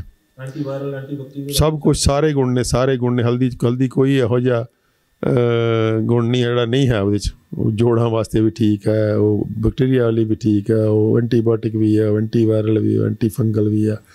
ਈਵਨ ਜਿਹੜੇ ਜ਼ਖਮਾਂ ਦੇ ਉੱਪਰ ਅਸੀਂ ਪੱਟੀ ਕਰਦੇ ਆ ਉਹਦੇ ਵਿੱਚ ਹਲਦੀ ਪਾ ਕੇ ਪੁਰਾਣਾ ਪੁਰਾਣਾ ਕਲਚਰ ਸਾਡਾ ਵੱਜਦਾ ਨਹੀਂ ਹੈ। ਕਿ ਸਰੋਂ ਦੇ ਤੇਲ ਦੇ ਉਹਨੂੰ ਤਵੇ ਤੇ ਕਰਕੇ ਗਰਮ ਦੇ ਵਿੱਚ ਹਲਦੀ ਬਣਾ ਕੇ ਪੇਸਟ ਬਣਾ ਕੇ ਜ਼ਖਮ ਦੇ ਉੱਪਰ ਲਾਉਂਦੇ ਹੁੰਦੇ ਸੀਗੇ। ਉਹ ਜ਼ਖਮ ਦਾ ਮਮਜਾਲ ਹੈ ਪੱਕ ਜੇ। ਮਤਲਬ ਨਹੀਂ ਕੋਈ। ਸਰੋਂ ਦੇ ਤੇਲ 'ਚ ਹਲਕਾ ਜਿਹਾ ਸਰੋਂ ਦੇ ਤੇਲ ਨੂੰ ਗਰਮ ਕਰੋ ਉੱਤੇ, ਉਹਦੇ 'ਚ ਹ- ਤੇ ਹਲਦੀ ਪਾਓ ਦੀ ਪੇਸਟ ਬਣਾਓ, ਉੱਤੇ ਜ਼ਖਮ ਦੇ ਉੱਪਰ ਲਾਓ ਤੇ ਜੇ ਪੱਟੀ ਬੰਨ੍ਹ ਦਿਓ। ਤੇ ਮਤਲਬ ਹੀ ਨਹੀਂ ਪੱਕਣ ਦਾ ਕੋਈ। ਤੁਸੀਂ ਇਸ ਕਰਕੇ ਜਿਹੜਾ ਉਹ, ਉਹ- ਉਹ ਉਹ ਅੱਛਾ ਉਹਦੇ 'ਚ ਜਿਹੜੀ ਲਾਲ ਮਿਰਚ ਦੀ ਪੱਟੀ ਕਰਨਾ ਜਿਹੜਾ ਹੁੰਦਾ ਸੀ, ਕਾ- ਹਲਕੇ ਕੁ- ਕੁੱਤੇ ਦਾ ਵੱਡਾ ਜਿਹੜਾ ਹੁੰਦਾ ਸੀ, ਲਾਲ ਮਿਰਚ ਦੀ ਪੱਟੀ ਕਰ ਦਿੰਦੇ ਸੀਗੇ। ਜਲ ਲੱਗਦੀ ਸੀ ਇੱਕ ਵਾਰੀ ਬਹੁਤ ਜ਼ਿਆਦਾ ਉਹ, ਲੇਕਿਨ ਉਹਦੇ 'ਚ ਕਮਾਲ ਦੀ ਵਿਜ਼ਡਮ ਹੈ। ਲਾਲ ਮਿਰਚ ਦੇ ਅੰਦਰ ਵੀ ਇਦਾਂ ਦੇ ਗੁਣ ਬਹੁਤ ਜ਼ਿਆਦਾ ਨੇ। ਕਿ ਜੇ ਕੁੱਤੇ ਨੇ ਵੱਢ ਲਿਆ ਤੇ ਤੁਸੀਂ ਉਹਦੇ ਤੇ ਨਾਲ ਦੀ ਨਾਲ ਜਿਹੜੀ ਹੈ ਉਹ ਲਾਲ ਮਿਰਚ ਦਾ ਦਾ ਦਾ ਭੁੱਕੇ ਤੇ ਪਾਊਡਰ ਤੇ ਉਹਦੇ ਤੇ ਪੱਟੀ ਕਰ ਦਿਓ। ਇੱਕ ਵਾਰੀ ਲੱਗੇਗੀ ਬਸ ਇੱਕ ਵਾਰੀ ਲੱਗੇਗੀ ਉਸ ਤੋਂ ਬਾਅਦ ਉਹ ਉਹ- ਉਹ 5-7 ਮਿੰਟਾਂ ਬਾਅਦ ਹੀ ਉਹ ਸ਼ਾਂਤ ਹੋ ਜਾਓਗੇ ਤੁਸੀਂ। ਜਿਸ ਤਰ੍ਹਾਂ ਪੁਰਾਣੇ ਜ਼ਮਾਨੇ ਦੇ ਵਿੱਚ ਉਹ ਜਿਹੜਾ ਸਪਿਰਿਟ ਲਾਉਂਦੇ ਹੁੰਦੇ ਸੀ ਤੇ ਉਹ ਚੀਕਾਂ ਨਿਕਲਦੀਆਂ ਹੁੰਦੀਆਂ ਸੀ। ਸਪਿਰਿਟ ਸਪਿਰਿਟ ਤਾਂ ਲੱਗਦਾ ਲੱਗਦਾ ਵੀ ਬਹੁਤ ਹੈ ਲੱਗਦਾ ਵੀ ਸਪਿਰਿਟ ਵੀ ਸਪਿਰਿਟ 'ਚ ਵੀ ਗੁਣ ਬਹੁਤ ਨੇ। ਸਪਿਰਿਟ 'ਚ ਵੀ ਗੁਣ ਬਹੁਤ ਨੇ। ਤਾਂ ਇਸ ਇਸ ਕਰਕੇ ਇਹ ਪੌਦੇ ਨੇ ਜਿਹੜੇ ਇਹ ਇਹ- ਇਹ ਕਮਾਲ ਦੇ ਜਿਹੜੇ ਉਹ ਨੇ ਤੁਹਾਡੇ ਕਾੜੇ ਜਿਹੜੇ ਨੇ ਆਪਾਂ ਕਾੜੇ ਦੀ ਗੱਲ ਕਰ ਰਹੇ ਸੀਗੇ। ਤਾਂ ਕਾੜੇ ਜਿਹੜੇ ਬਣਾਉਣ ਦੀ ਵਿਧੀ ਜਿਹੜੀ ਹੈ 5 ਮਿੰਟ 'ਚ 5 ਮਿੰਟ 'ਚ ਤੇ ਫਿਰ ਉਹਨੂੰ ਸਿਪ ਸਿਪ ਕਰਕੇ ਆਪਣਾ ਪੀ ਲੈਣਾ। ਇੱਕ ਕਾੜੇ ਨੂੰ ਦਿਨ 'ਚ ਦੋ ਵਾਰੀ ਤੋਂ ਵੱਧ ਨਹੀਂ ਪੀਣਾ। ਕੋਈ ਕੋਈ ਕਈ ਕਈ ਪੌਦੇ ਬਹੁਤ ਤੇਜ਼ ਹੁੰਦੇ ਆ। ਆਪਾਂ ਬਾਰ-ਬਾਰ ਨਹੀਂ ਉਸੇ ਕਾੜੇ ਨੂੰ ਪੀਣਾ। ਜੇ ਬਾਰ-ਬਾਰ ਮੰਨ ਲਓ ਆਪਾਂ ਨੂੰ ਬਹੁਤ ਵਾਇਰਲ ਹੋ ਰਿਹਾ ਤਿੱਖਾ ਤੇ ਆਪਾਂ ਹਰ ਘੰਟੇ 2 ਘੰਟੇ ਬਾਅਦ ਗਰਮ ਪੀਣ ਨੂੰ ਜੀ ਕਰ ਰਿਹਾ ਤੇ ਫਿਰ ਕਾੜੇ ਬਦਲ ਲਓ। ਹਾਂ, ਕਾੜੇ ਬਦਲ ਲਓ। ਦੇਖੋ, ਜਿਵੇਂ ਵਾਇਰਲ ਹੈ, ਤਾਂ ਵਾਇਰਲ ਦੇ ਅੰਦਰ ਜਿਹੜੇ ਬ- ਬਹੁਤ ਕਮਾਲ ਦੇ ਕਾੜੇ ਨੇ, ਇੱਕ ਤਾਂ ਅਸੀਂ ਮਿਕਸ ਕਾੜਾ ਪਪੂਲਰਾਈਜ਼ ਕੀਤਾ ਕਿ ਮਿਕਸ ਕਾੜਾ। ਮਿਕਸ ਕਾੜੇ ਦੇ ਅੰਦਰ ਤੁਹਾਡਾ ਜਿਹੜਾ ਹੈ, ਉਹ ਉਹਦੇ ਚ ਲੈ ਕੇ ਤੁਹਾਡੇ ਜੀਰੇ ਤੋਂ ਲੈ ਕੇ ਅੱਧਾ ਚਮਚਾ ਜੀਰਾ ਹੋ ਗਿਆ ਜਿੱਦਾਂ, ਅੱਧਾ ਚਮਚਾ ਅਜਵਾਇਣ ਹੋ ਗਈ, ਫਿਰ ਥੋੜਾ ਜਿਹਾ ਅੱਧਾ ਚਮਚਾ ਸੌਂਫ ਹੋ ਗਏ, ਦੋ ਕੁ ਛੋਟੀਆਂ ਇਲਾਚੀਆਂ ਹੋ ਗਈਆਂ ਦੋ ਕੁ ਲੌਂਗ ਹੋ ਗਏ ਦਾਲਚੀਨੀ ਦੋ ਚੁਟਕੀ ਦਾਲਚੀਨੀ ਹੋ ਗਈ ਦਾਲਚੀਨੀ ਜਦੋਂ ਵੀ ਪਾਉਣੀ ਹੈ ਤਾਂ ਦਾਲਚੀਨੀ ਬਹੁਤ ਤਿੱਖੀ ਹੁੰਦੀ ਹੈ ਔਰ ਬਹੁਤ ਅਦਰਵਾਈਜ਼ ਵੀ ਗਰਮ ਬਹੁਤ ਹੁੰਦੀ ਹੈ। ਦਾਲਚੀਨੀ ਦੀ ਮਾਤਰਾ ਦਾ ਬਹੁਤ, ਇਹਨਾਂ ਇਹਨਾਂ ਇਹਨਾਂ ਜਿੰਨੇ ਮਸਾਲੇ ਨੇ ਖਾਸ ਕਰਕੇ ਇਹਨਾਂ ਦੀ ਮਾਤਰਾ ਜ਼ਰੂਰ ਪਤਾ ਹੋਣੀ ਚਾਹੀਦੀ ਹੈ ਕਿ ਮਾਤਰਾ ਇੱਕ ਲਿਮਟ ਤੋਂ ਵੱਧ ਲਵਾਂਗੇ ਮਾਤਰਾ ਆਪਾਂ, ਤਾਂ ਉਹ ਜਦੋਂ ਮਲੱਠੀ ਹੈ, ਉਹ ਮਲੱਠੀ ਆਪਾਂ ਬਹੁਤ ਵਾਰੀ, ਬਹੁਤ ਜ਼ਿਆਦਾ ਅਗਰ ਪਾ ਲਾਂਗੇ ਤਾਂ ਉਹ, ਉਹ- ਉਹਦੇ ਮਲੱਠੀ ਜਿਹੜੀ ਹੈ ਸਟਰੋਂਗ ਹੁੰਦੀ ਹੈ ਤੇ ਮਲੱਠੀ ਜਿਹੜੀ ਹਾਰਟ ਦੀ ਬੀਟ ਜਿਹੜੀ ਉਹਨੂੰ ਡਿਸਟਰਬ ਕਰਦੀ ਹੈ ਹਾਰਟ ਬੀਟ ਨੂੰ। ਤੇ ਜਦੋਂ ਬਹੁਤ ਜ਼ਿਆਦਾ- ਹਲਦੀ ਮਲੱਠੀ ਪਾ ਕੇ ਪੀਓਗੇ ਤਾਂ ਤੁਹਾਡੀ ਤੁਹਾਨੂੰ ਫਿਰ ਉਹ ਹਾਰਟ ਬੀਟ ਮਿਸ ਹੋਣੀ ਸ਼ੁਰੂ ਹੋ ਜਾਏਗੀ। ਹਾਲਾਂਕਿ ਨੁਕਸਾਨ ਕੋਈ ਨਹੀਂ ਹੁੰਦਾ ਉਹਦੇ ਨਾਲ ਲੇਕਿਨ ਤੁਹਾਨੂੰ ਅਜੀਬ ਜਿਹਾ ਲੱਗੇਗਾ ਉਹ। ਜੇ ਹਾਰਟ ਪੇਸ਼ੈਂਟ ਹੋਣ ਉਹਨੂੰ ਫਿਰ ਅਵੋਇਡ ਕਰਨਾ ਚਾਹੀਦਾ? ਥੋੜੀ ਪਾਓ ਥੋੜੀ ਲਓ। ਬਹੁਤ ਜ਼ਿਆਦਾ ਮਾਤਰਾ ਮਾਤਰਾ ਜਿਹੜੀ ਮਲੱਠੀ ਦੀ ਮਾਤਰਾ ਉਹ ਜ਼ਿਆਦਾ ਮੂੰਹ 'ਚ ਵੀ ਜਦੋਂ ਰੱਖੋ ਤਾਂ ਇੱਕਦਮ ਚੱਬਣੀ ਨਹੀਂ ਹੈ ਮਲੱਠੀ। ਮਲੱਠੀ ਮਲੱਠੀ ਚੂਸਦੇ ਰਹਿਣਾ। ਲੇਕਿਨ ਉਹਨੂੰ ਇਹ ਨਹੀਂ ਵੀ ਜੇ ਕਦਮ ਚੱਬੋਗੇ ਤੁਸੀਂ ਉਹਨੂੰ ਮੱਠੀ ਨੂੰ ਤਾਂ ਉਹ ਤੁਹਾਡੀ ਹੋ ਸਕਦਾ ਤੁਹਾਨੂੰ ਤੁਹਾਨੂੰ ਅਜੀਬ ਜੀ ਫੀਲਿੰਗ ਦੇਗੀ ਅਜੀਬ ਜੀ ਫੀਲਿੰਗ ਦੇਗੀ ਇੱਕ ਵਾਰੀ। ਉਹ ਤੁਹਾਡਾ ਇੱਕਦਮ ਥੁੱਕਣ ਥੁੱਕਣਾ ਪਏਗਾ ਤੁਹਾਨੂੰ ਹਲਦੀ ਉਹਨੂੰ ਮੱਠੀ ਨੂੰ। ਤਾਂ ਇਸ ਕਰਕੇ ਇਹਨਾਂ ਦੀ ਡੋਜ਼ ਜ਼ਰੂਰ ਪਤਾ ਹੋਣੀ ਚਾਹੀਦੀ ਹੈ। ਥੋੜਾ ਥੋੜਾ ਮੋਟਾ ਹੈ ਬਹੁਤ ਬਹੁਤ ਕੋਈ ਏਡਾ ਰਾਕਟ ਸਾਇੰਸ ਨਹੀਂ ਹੈ ਇਹ। ਇਹ ਇਹ ਮਾੜਾ ਮਾੜੇ ਟਿਪਸ ਹੁੰਦੀਆਂ ਨੇ ਜਿਹਨੂੰ ਕਹਿੰਦੇ ਅਹ, ਰੋਜ਼ਮਰਾ ਚ ਫੋਲੋ ਕਰਨ ਵਾਲੀਆਂ। ਤਾਂ ਉਹਨਾਂ ਟਿਪਸ ਨੂੰ ਜ਼ਰੂਰ ਯਾਦ ਰੱਖਣਾ ਚਾਹੀਦਾ ਕਿ ਇੰਨੀ ਕਿ ਮਾਤਰਾ ਜਿਹੜੀ ਹੈ ਉਹ ਚਾਹੀਦੀ ਹੈ। ਫਿਰ ਇਹਦੇ ਤੁਹਾਡੇ ਵਾਇਰਲ ਦੇ ਅੰਦਰ ਕਾੜੇ ਜਿਹੜੇ ਨੇ ਗਲੋ ਦਾ ਕਾੜਾ, ਬਹੁਤ ਕਮਾਲ ਦਾ ਕਾੜਾ, ਹਲਦੀ ਦਾ ਕਾੜਾ। ਹਲਦੀ ਦਾ ਪਾਣੀ ਜਿਹੜਾ ਹੈ ਬਹੁਤ ਅਸੀਂ ਪਪੂਲਰਾਈਜ਼ ਕੀਤਾ ਹਲਦੀ ਦਾ ਪਾਣੀ ਦਾ ਕੀ ਮਤਲਬ ਹੈ? ਗਰਮ ਗਰਮ ਪਾਣੀ ਲਓ, ਉਹ 'ਚ ਅੱਧਾ ਚਮਚਾ ਹਲਦੀ ਪਾਓ, ਦੋ ਚੁਟਕੀ ਕਾਲੀ ਮਿਰਚ ਪਾਓ 2 ਮਿੰਟ ਲਈ ਢੱਕ ਦਿਓ, ਉਸ ਤੋਂ ਬਾਅਦ ਪੀ ਲਓ। ਰੈਡੀਮੇਡ ਹੈ, ਜਿੱਥੇ ਮਰਜ਼ੀ ਬੈਠੇ ਹੋ, ਦਫ਼ਤਰ 'ਚ ਬੈਠੇ ਹੋ, ਕਿਤੇ ਬੈਠੇ ਹੋ, ਉਹ ਕਾੜਾ ਬਣਾਉਣ ਦੀ ਵੀ ਦਿੱਕਤ ਨਹੀਂ, ਗਰਮ ਪਾਣੀ ਮੰਗ ਲਓ ਬਸ। ਤੁਹਾਨੂੰ ਕੋਈ ਬੰਦਾ ਗਰਮ ਪਾਣੀ ਕਿਤੇ ਲੈ ਜਾਓ, ਕੋਈ ਸੌਖਾ ਕੰਮ ਜਿਹੜਾ ਹੈ, ਉਹ ਹਲਦੀ ਦਾ- ਹਲਦੀ ਤੇ ਕਾਲੀ ਮਿਰਚ ਦਾ ਜਿਹੜਾ ਕਾੜਾ ਹੈ। ਤੇ ਉਹ ਉਹ ਉਹ ਕਾੜਾ ਕਾੜਾ ਨਹੀਂ ਬਣਾ ਸਕਦੇ ਤੁਸੀਂ ਜਿੱਥੇ ਕਾੜੇ ਬਣਾਉਣ ਦੀ ਵੀ ਸਹੂਲਤ ਨਹੀਂ ਹੈਗੀ, ਤਾਂ ਗਰਮ ਪਾਣੀ ਤੇ ਅੱਧਾ ਚਮਚਾ ਹਲਦੀ, ਦੋ ਚੁਟਕੀ ਕਾਲੇ ਮਿਰਚ ਪਾ ਕੇ 2 ਮਿੰਟ ਟੱਕ ਕੇ ਉਸ ਤੋਂ ਬਾਅਦ ਪੀ ਲਓ ਉਹਨੂੰ। ਔਰ ਬੜਾ ਕਮਾਲ ਦਾ ਉਹਦੇ ਚ ਗੁਣ ਨੇ। ਸੋ ਹਲਦੀ ਦਾ ਕਾੜਾ ਹੋ ਗਿਆ, ਗਲੋ ਦਾ ਕਾੜਾ ਹੋ ਗਿਆ, ਤੁਲਸੀ ਦਾ ਕਾੜਾ ਹੋ ਗਿਆ। ਤੁਲਸੀ ਦੇਖੋ, ਤੁਲਸੀ ਪਾ ਸਕਦੇ ਹਾਂ ਆਪਾਂ। ਤੁਲਸੀ ਵੈਸੇ ਬਾਕੀ ਕਾੜਿਆਂ 'ਚ ਵੀ ਪਾ ਸਕਦੇ ਹਾਂ। ਤੁਲਸੀ ਮਿਕਸ ਕਾੜੇ 'ਚ ਵੀ ਪਾ ਸਕਦੇ ਹਾਂ, ਲੇਕਿਨ ਤੁਲਸੀ ਵਿੱਚ ਵੀ ਪਾ ਸਕਦੇ ਹਾਂ। ਸੋ ਜੇ ਜੇ ਆਪਣਾ ਆਪਣਾ ਵਾਇਰਲ ਹੋਇਆ ਹੋਇਆ ਤੇ ਜੇ ਆਪਣਾ ਜੀ ਕਰ ਰਿਹਾ, ਆਪਾਂ ਨੂੰ ਬਾਰ-ਬਾਰ ਕਾੜਾ ਪੀਣ ਗਰਮ ਗਰਮ ਚੀਜ਼ ਪੀਣ ਦਾ ਤਾਂ ਉਹਨੂੰ ਫਿਰ ਬਦਲ ਬਦਲ ਕੇ ਪੀਓ। ਇੱਕ ਕਾੜੇ ਨੂੰ ਦੋ ਵਾਰੀ ਤੋਂ ਵੱਧ ਨਾ ਪੀਓ। ਇੱਕ ਦਿਨ 'ਚ। ਤੇ ਉਹਦੇ ਚ ਥੋੜਾ ਕਿਸ ਕਿਸ- ਕੋਈ ਕੋਈ ਜਿਹੜੀ ਜਿਹੜੇ ਦਵਾ ਪੌਦੇ ਹੁੰਦੇ ਤੇਜ਼ ਹੁੰਦੇ ਆ ਫਿਰ ਥੋੜਾ ਜਿਹਾ ਤੁਹਾਨੂੰ ਹਾਲਾਂਕਿ ਕੋਈ ਵੱਡਾ ਨੁਕਸਾਨ ਨਹੀਂ ਹੋਊਗਾ ਲੇਕਿਨ ਹਾਂ ਤੁਹਾਡੀ ਤੁਹਾਨੂੰ ਫੀਲਿੰਗ ਨਹੀਂ ਆਊਗੀ ਅੱਛੀ। ਫੀਲਿੰਗ ਅੱਛੀ ਨਹੀਂ ਆਏਗੀ। ਉਹ ਤੋਂ ਇੰਨਾ ਡਰਨ ਦੀ ਲੋੜ ਨਹੀਂ ਹੈ ਕਿ ਆਪਾਂ ਨੂੰ ਕੋਈ ਵੱਡਾ ਨੁਕਸਾਨ ਕੋਈ ਲੈਲੋਪੈਥੀ ਦਵਾਈ ਨਹੀਂ ਹੈ ਕਿ ਰਿਐਕਸ਼ਨ ਹੋ ਕੇ ਬੰਦਾ ਮਰ ਜਾਏਗਾ। ਲੇਕਿਨ ਫਿਰ ਵੀ ਫੀਲਿੰਗ ਅੱਛੀ ਨਹੀਂ ਆਏਗੀ। ਤਾਂ ਉਹਦੇ ਚ ਆਪਣੇ ਸਰੀਰ ਦੀ ਅੰਦਰਲੀ ਫੀਲਿੰਗ ਨੂੰ ਜ਼ਰੂਰ ਫੋਲੋ ਕਰਨਾ ਚਾਹੀਦਾ। ਜੇ ਅੰਦਰੋਂ ਫੀਲਿੰਗ ਅੱਛੀ ਨਹੀਂ ਆ ਰਹੀ ਤੇ ਇਹਦਾ ਮਤਲਬ ਉਹ ਤੁਸੀਂ ਜਾਤੀ ਕਰ ਰਹੇ ਹੋ ਜ਼ਿਆਦਾ ਲੈ ਰਹੇ ਹੋ। ਤਾਂ ਉਹ ਧਿਆਨ ਜ਼ਰੂਰ ਰੱਖਣਾ ਚਾਹੀਦਾ। ਡਾਕਟਰ ਸਾਹਿਬ ਤੁਸੀਂ ਮਤਲਬ ਜਦ ਕਾੜੇ ਬਣਾਉਣ ਦੀ ਵਿਧੀ ਵੀ ਦੱਸਤੀ ਦਵਾ ਪੌਦਿਆਂ ਨੂੰ ਸਿਰਫ ਕਾੜਿਆਂ ਦੀ ਸ਼ਕਲ ਦੇ ਵਿੱਚ ਹੀ ਯੂਜ਼ ਕਰ ਸਕਦੇ ਆ ਜਾਂ ਫਿਰ ਉਹਨੂੰ ਚਟਣੀਆਂ ਜਾਂ ਹੋਰ ਵੀ ਕਈ ਚੀਜ਼ਾਂ ਦੇ ਯੂਜ਼ ਨਹੀਂ ਦਵਾ ਪੌਦਿਆਂ ਦੇ ਨੂੰ ਯੂਜ਼ ਕਰਨ ਦੇ ਬਹੁਤ ਸਾਰੇ ਢੰਗ ਨੇ। ਦੇਖੋ ਦਵਾ ਪੌਦੇ ਆਪਾਂ ਕੱਚੇ ਕੱਚੇ ਵਰਤ ਸਕਦੇ ਆ। ਉਹਦੇ ਚ ਕੁਝ ਭੋਜਨ ਪੌਦੇ ਵੀ ਪੈ ਜਾਂਦੇ ਵਿੱਚ ਫਿਰ, ਜਿੱਦਾਂ ਜੂਸਸ ਨੇ। ਹੁਣ ਜਿਹੜਾ ਗ੍ਰੀਨ ਜੂਸ ਆਪਾਂ ਅਸੀਂ ਕਰ ਰਹੇ ਹਾਂ, ਗ੍ਰੀਨ ਜੂਸ ਹੈ। ਗ੍ਰੀਨ ਜੂਸ ਅਸੀਂ ਤਿੰਨ ਤਿੰਨ ਤਿੰਨ ਪੌਦੇ ਕਰ ਰਹੇ ਹਾਂ। ਖੀਰਾ, ਪੇਠਾ, ਮਠਾਈ ਵਾਲਾ ਤੇ ਜਾਂ ਕੱਦੂ। ਕੀ ਆ ਕੱਦੂ? ਵੀਟ ਗ੍ਰਾਸ ਫਿਰ ਦਵਾ ਗਿਆ ਨਾ। ਉਹ ਭੋਜਨ ਭੋਜਨ ਪੌਦੇ ਹੋ ਗਏ ਕਿਉਂਕਿ ਜ਼ਿਆਦਾ ਨੇ ਉਹ। ਉਹਦੇ 'ਚ ਤੁਸੀਂ ਦਵਾ ਪੌਦੇ ਕੀ ਪਾਉਣੇ ਆ? ਪੱਤੇ। ਦਵਾ ਮੁਜਬ ਵੀਟ ਗ੍ਰਾਸ ਪਾ ਲਿਆ ਵਿੱਚ। ਮਤਲਬ ਤੁਸੀਂ ਵੀਟ ਗ੍ਰਾਸ ਹੁਣ ਵੀਟ ਗ੍ਰਾਸ ਦੀ ਦਿੱਕਤ ਇਹ ਹੈ ਵੀਟ ਗ੍ਰਾਸ ਲਈ ਜਾਂ ਤਾਂ ਮਸ਼ੀਨ ਅਲੱਗ ਲੈਣੀ ਪਊਗੀ ਜਾਂ ਤਾਂ ਉਹ ਲੈਣਾ ਪੈਗਾ ਤੁਹਾਨੂੰ ਜਿਹੜਾ ਕੋਲਡ ਪ੍ਰੈਸਡ ਜੂਸਰ ਹੈ ਉਹ ਤਾਂ ਕੱਢ ਦੇਗਾ ਵੀਟ ਗ੍ਰਾਸ ਬਾਕੀ ਜਿਹੜੇ ਜੂਸਰ ਨੇ ਉਹ ਵੀਟ ਗ੍ਰਾਸ ਦਾ ਜੂਸ ਨਹੀਂ ਕੱਢ ਸਕਦੇ। ਉਹਨੂੰ ਫਿਰ ਮਿਕਸੀ 'ਚ ਗੇੜਾ ਦੇ ਕੇ ਜਾਂ ਕੁੰਡੇ 'ਚ ਕੁੱਟ ਲਓ ਸਾਰਿਆਂ ਨਾਲੋਂ ਵਧੀਆ। ਥੋੜੇ ਜਿਹੇ ਥੋੜੇ ਜਿਹੇ ਉਹਨੂੰ ਕਹਿ ਕੇ ਕੁੰਡੇ 'ਚ ਕੁੱਟ ਕੇ ਉਹਦਾ ਉਹਦਾ ਚਮਚਾ ਦੋ ਚਮਚੇ ਚਾਰ ਚਮਚੇ ਨਿਕਲਣਗੇ ਜੂਸ ਦੇ ਤਾਂ ਉਹਦੇ 'ਚ ਪਾ ਲਓ ਗ੍ਰੀਨ ਜੂਸ 'ਚ। ਨਹੀਂ ਤਾਂ ਫਿਰ ਮਿਕਸੀ 'ਚ ਪਾਓ।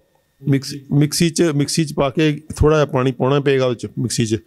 ਤੁਸੀਂ ਮੰਨ ਲਓ 20 20 ml 30 ml ਪਾਣੀ ਪਾਇਆ ਤੇ ਉਹ ਜੋ ਉਹਦਾ ਜੂਸ ਕੱਢ ਕੇ ਤੇ ਬਾਕੀ ਗ੍ਰੀਨ ਜੂਸ 'ਚ ਮਿਕਸ ਕਰ ਲਓ।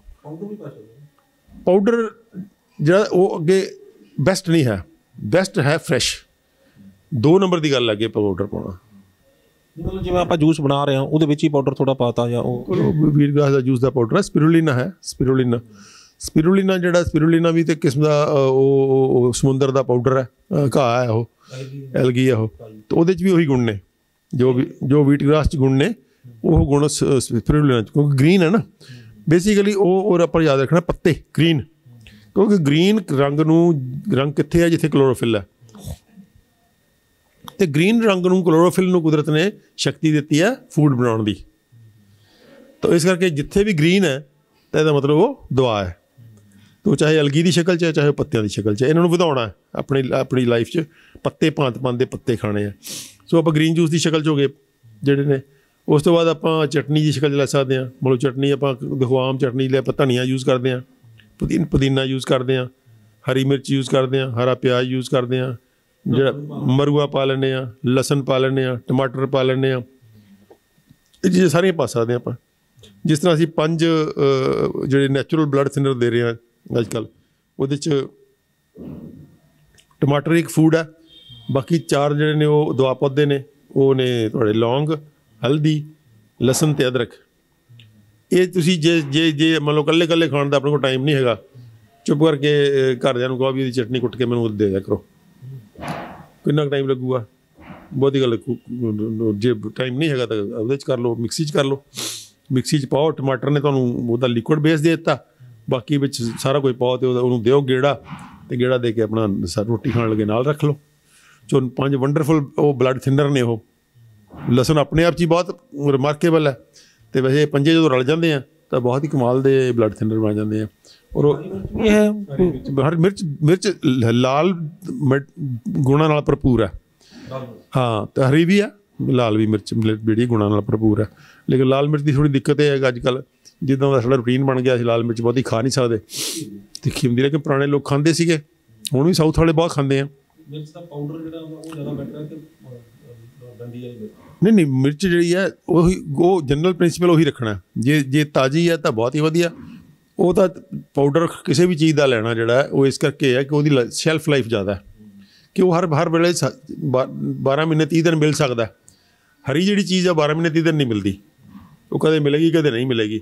ਵੈਸੇ ਤਾਂ ਹੁਣ ਅੱਜ ਕੱਲ ਖੇਤੀ 'ਚ ਲੋਕਾਂ ਨੇ ਸਾਇੰਟਿਸਟਾਂ ਨੇ ਇਹੋ ਜਿਹੇ ਤਜਰਬੇ ਕਰ ਕਰਕੇ ਤਕਰੀਬਨ ਇਹੋ ਜਿਹੀਆਂ ਚੀਜ਼ਾਂ ਜਿਹੜੀਆਂ ਨੇ 12 ਮਾਸੀ ਕਰਤੀਆਂ ਨੇ। ਜਿਵੇਂ ਟਮਾਟਰ 12 ਮਾਸੀ ਹੋ ਗਿਆ, ਮਿਰਚ 12 ਮਾਸੀ ਹੈ, ਨਿੰਬੂ 12 ਮਾਸੀ ਹੈ, ਜੋ ਸਾਰੀਆਂ 12 ਮਾਸੀ ਚੀਜ਼ਾਂ ਬਹੁਤ ਬਣ ਰਹੀਆਂ ਨੇ, ਕਿ ਉਹ ਤਾਂ ਮਿਲਦੀਆਂ ਰਹਿੰਦੀਆਂ ਤਕਰੀਬਨ। ਸੋ ਤਾਜੀ ਜਿਹੜੀ ਚੀਜ਼ ਹੈ ਉਹਦੇ, ਉਹਦੀ ਰੀਸ ਨਹੀਂ ਹੈ ਕੋਈ। ਤੇ ਉਸ ਤੋਂ ਬਾਅਦ ਜਿਹੜੇ ਪਾਊਡਰ ਸ਼ਕਲ ਚ ਹੋਰ ਚ ਗਿਆ, ਉਹ ਫਿਰ ਇਸ ਕਰਕੇ ਕਿ ਉਹਦੀ ਸ਼ੈਲਫ ਲਾਈਫ ਹੈਗੀ ਹੈ ਤੁਹਾਨੂੰ ਹਰ ਥਾਂ ਤੇ ਅਵੇਲੇਬਲ ਹੈ ਤਾਂ ਠੀਕ ਹੈ ਜੇ ਉਹ ਤਾਜੀ ਨਹੀਂ ਅਵੇਲੇਬਲ ਤਾਂ ਫਿਰ ਉਹ ਵੀ ਯੂਜ਼ ਕਰੋ। ਸੋ ਇਸ ਕਰਕੇ ਜਿਹੜਾ ਇਹ ਪੱਤਿਆਂ ਦਾ ਆਪਾਂ ਇਸਤੇਮਾਲ ਦੀ ਗੱਲ ਕਰ ਰਹੇ ਸੀਗੇ ਚਟਨੀ ਦੀ ਸ਼ਕਲ, ਚਟਨੀ ਦੀ ਸ਼ਕਲ ਚ ਹੋ ਗਿਆ। ਫਿਰ ਤੁਸੀਂ ਜੂ- ਜੂਸ ਆਪਾਂ ਗੱਲ ਕਰ ਲਈ। ਸਲਾਦ ਚ ਖਾ ਸਕਦੇ ਹੋ। ਬਹੁਤ ਸਾਰੇ ਜਿੱਦੇ ਦਵਾ ਪੌਦੇ ਨੇ, ਆਪਾਂ ਸਲਾਦ ਚ ਖਾ, ਮੰਨ ਲਓ ਆਪਣਾ ਪੁਦੀਨਾ ਹੈ ਹੁਣ। ਪੁਦੀਨਾ ਤੁਸੀਂ ਸਲਾਦ ਖਾਣ ਲੱਗੇ ਹੋ ਥੋੜਾ ਕੱਟ ਲਓ। ਧਨੀਆ ਵੀ ਕੱਟ ਸਕਦੇ ਆ ਪੁਦੀਨਾ ਵੀ ਕੱਟ ਸਕਦੇ ਆ ਉਹ ਅੱਜ ਕੱਲ ਸਲਾਦ ਪੱਤਾ ਆ ਗਿਆ ਹੋਇਆ, ਉਹ ਉਹ ਸੋ ਪੱਤਿਆਂ ਦਾ ਇਸਤੇਮਾਲ, ਪੱਤੇ ਆਪਣੇ ਆਪ ਹੀ ਬਹੁਤ ਵਧੀਆ ਦਵਾ ਨੇ। ਸੋ ਜਿੰਨੇ ਪੱਤੇ ਜ਼ਿਆਦਾ ਖਾਵਾਂਗੇ ਆਪਾਂ ਉਨੇ ਜ਼ਿਆਦਾ ਸਿਹਤਮੰਦ ਰਵਾਂਗੇ। ਸੋ ਪੱਤਿਆਂ ਦਾ ਇਸਤੇਮਾਲ ਜਿਹੜਾ ਬਣਾਉਣਾ, ਸੂਪ ਸੂਪ ਸੂਪ ਹੋ ਗਿਆ ਫਿਰ, ਸੂਪ ਬਣਾ ਲਓ। ਜੂਸ ਬਣਾਉਣ ਲੱਗਿਆ, ਪੱਤਿਆਂ ਦਾ ਜੂਸ ਬਣਾਉਣ ਲੱਗਿਆ ਜਾਂ ਪੱਤੇ ਸਲਾਦ 'ਚ ਖਾਣ ਲੱਗਿਆ, ਕੱਚੇ ਪੱਤੇ ਖਾਣ ਲੱਗਿਆ, ਇੱਕ ਗੱਲ ਦਾ ਬਿਓ, ਬੇਹੱਦ ਖਿਆਲ ਰੱਖਣਾ ਇਹ ਮੈਂ ਬਾਰ-ਬਾਰ ਜਿੱਥੇ ਵੀ ਬੋਲਦਾ ਤੇ ਇਸ ਗੱਲ ਦੀ ਵਾਰਨ ਕਰਦਾ ਕਿ ਕੱਚੇ ਪੱਤੇ ਜਦੋਂ ਖਾਣੇ ਨੇ ਤਾਂ ਬਾਜ਼ਾਰ ਵਾਲੇ ਪੱਤੇ ਨਾ ਖਾਓ। ਕਿਉਂਕਿ ਅੱਜ ਬਾਜ਼ਾਰ 'ਚ ਜਿਹੜੀ ਸਬਜ਼ੀ ਆ ਰਹੀ ਹੈ, ਉਹ ਸੀਵਰ ਦੇ ਪਾਣੀ ਤੇ ਪਲੀ ਹੋਈ ਆ ਰਹੀ ਹੈ। ਤੇ ਸੀਵਰ ਦਾ ਪਾਣੀ ਅਗਰ ਕੱਚਾ ਜਿੱਥੇ ਅੱਜਕੱਲ ਕੋਈ ਕਿਤੇ ਸੀਵਰ ਦੀ ਪ੍ਰੋਸੈਸਿੰਗ ਨਹੀਂ ਹੁੰਦੀ। ਸੀਵਰ ਦਾ ਪਾਣੀ ਤਾਜ਼ਾ ਲੱਗ ਰਿਹਾ, ਕੱਚਾ ਲੱਗ ਰਿਹਾ ਉੱਥੇ ਸ- ਖੇਤਾਂ ਦੇ ਅੰਦਰ ਔਰ ਖੇਤਾਂ ਦੇ ਅੰਦਰ ਜਿੱਥੇ ਤਾਜ਼ਾ ਪਾਣੀ ਲੱਗਦਾ ਹੋਏਗਾ, ਉੱਥੋਂ ਇਨਫੈਕਸ਼ਨ ਹੋਣ ਦੇ ਚਾਂਸਸ ਬਹੁਤ ਜ਼ਿਆਦਾ ਬ੍ਰਾਈਟ ਹੁੰਦੇ ਆ। ਸੋ ਬਹੁਤ ਲੋਕਾਂ ਨੂੰ ਫੂਡ ਪਾਇਜ਼ਨਿੰਗ ਹੋ ਜਾਂਦੀ ਹੈ ਸੋ ਇਸ ਕਰਕੇ ਇਹ ਅਲਰਟ ਰਹਿਣਾ ਕਿ ਜਿਹੜੇ ਪੱਤੇ ਕੱਚੇ ਖਾਣੇ ਆ, ਉਹਨੂੰ ਘਰ ਚ ਲਾਈਏ ਆਪਾਂ।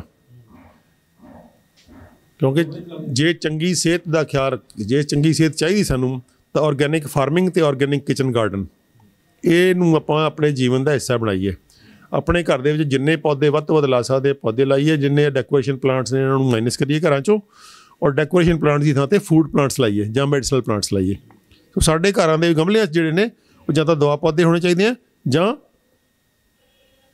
ਫੂਡ ਫੂਡ ਫੂਡ ਵਾਲੇ ਪੌਦੇ ਹੋਣੇ ਚਾਹੀਦੇ ਆ। ਤੋ ਬਹੁਤ ਸਾਰੇ ਫੂਡ ਪੌਦੇ ਨੇ ਜਿਹੜੇ ਨੇ, ਮੇਥੀ ਹੈ, ਧਨੀਆ ਹੈ, ਪੁਦੀਨਾ ਹੈ, ਕੜੀ ਪੱਤਾ ਹੈ, ਕਿੰਨੀਆਂ ਚੀਜ਼ਾਂ ਨੇ, ਪਾਲਕ ਹੈ। ਮੂਲੀ ਹੈ, ਗਾਜਰ ਹੈ, ਸ਼ਲਗਮ ਇਹ ਸਾਰੇ ਘਰਾਂ 'ਚ ਹੋ ਜਾਂਦੇ, ਬੜੇ ਆਰਾਮ ਕੁਝ ਵੀ ਨਹੀਂ ਕਰਨਾ ਹੁੰਦਾ, ਬੀਜ ਬੀਜਣਾ ਤੁਸੀਂ ਬਸ, ਤੇ ਪਾਣੀ ਦੇ ਛੱਡਣਾ। ਮਤਲਬ ਐਡਾ ਸੌਖਾ ਕੰਮ ਹੈ, ਕੁਦਰਤ ਦੇ, ਕੁਦਰਤ ਸਾਨੂੰ ਪਾਲਣ ਲਈ ਸਾਡੇ ਕੋਲੇ ਹਾਜ਼ਰ ਰਹਿੰਦੀ ਹਮੇਸ਼ਾ। ਅਸੀਂ ਬੇਮੁਖ ਹੋ ਜਾਂਦੇ ਆ ਜਦੋਂ ਤਾਂ ਫਿਰ ਉਹਦਾ ਉਹਦਾ ਉਹਦਾ ਬਿਨਾ ਮਤਲਬ ਦੇ ਨਾਲੇ ਤਾਂ ਮਹਿੰਗੇ ਖਰੀਦਦੇ ਆ ਮਾਰਾ ਮਾਰੀ ਸਾਰਾ ਦਿਨ ਭੱਜੀ ਜਾਂਦੇ ਭੱਜੀ ਜਾਂਦੇ ਭੱਜੀ ਜਾਂਦੇ ਤੇ ਫਿਰ ਮਹਿੰਗੇ ਜੇ ਖਾਣੇ ਜਿਹੜੇ ਅਸੀਂ ਘਰ ਵੀ ਬਣਾ ਸਕਦੇ ਸੀ, ਉਹ ਲੈ ਕੇ ਆ ਜਾਂਦੇ ਆ ਹੁਣ ਉਹ ਭੱਜਣ ਦਾ ਫਾਇਦਾ ਕੀ ਹੋਇਆ? ਜਿਹੜੇ ਖਾਣੇ ਤੁਸੀਂ ਜੇ- ਘਰ ਪੈਦਾ ਕਰ ਸਕਦੇ ਹੋ, ਕਰ ਲਓ। ਪੁਰਾ- ਪੁਰਾਣੇ ਲੋਕ ਮਨੁੱਖ ਕੀ ਕਰਦੇ ਸੀ ਹੁੰਦੇ ਸੀ? ਪੁਰਾਣੇ ਮਨੁੱਖ ਕੀ ਹੁੰਦੇ ਮਜ਼ੇ ਮਜ਼ੇ ਨਾਲ ਰਹਿੰਦੇ ਸੀਗੇ। ਤੇ ਆਪਣੇ ਆਲੇ ਦੁਆਲੇ ਜਿੱਥੇ ਕੋਈ ਬੰਦਾ ਰਹਿੰਦਾ ਸੀ, ਉਹਦੇ ਆਲੇ ਦੁਆਲੇ ਕਿਆਰੀ ਬਣਾ ਲੈਂਦਾ ਹੁੰਦਾ ਸੀਗਾ।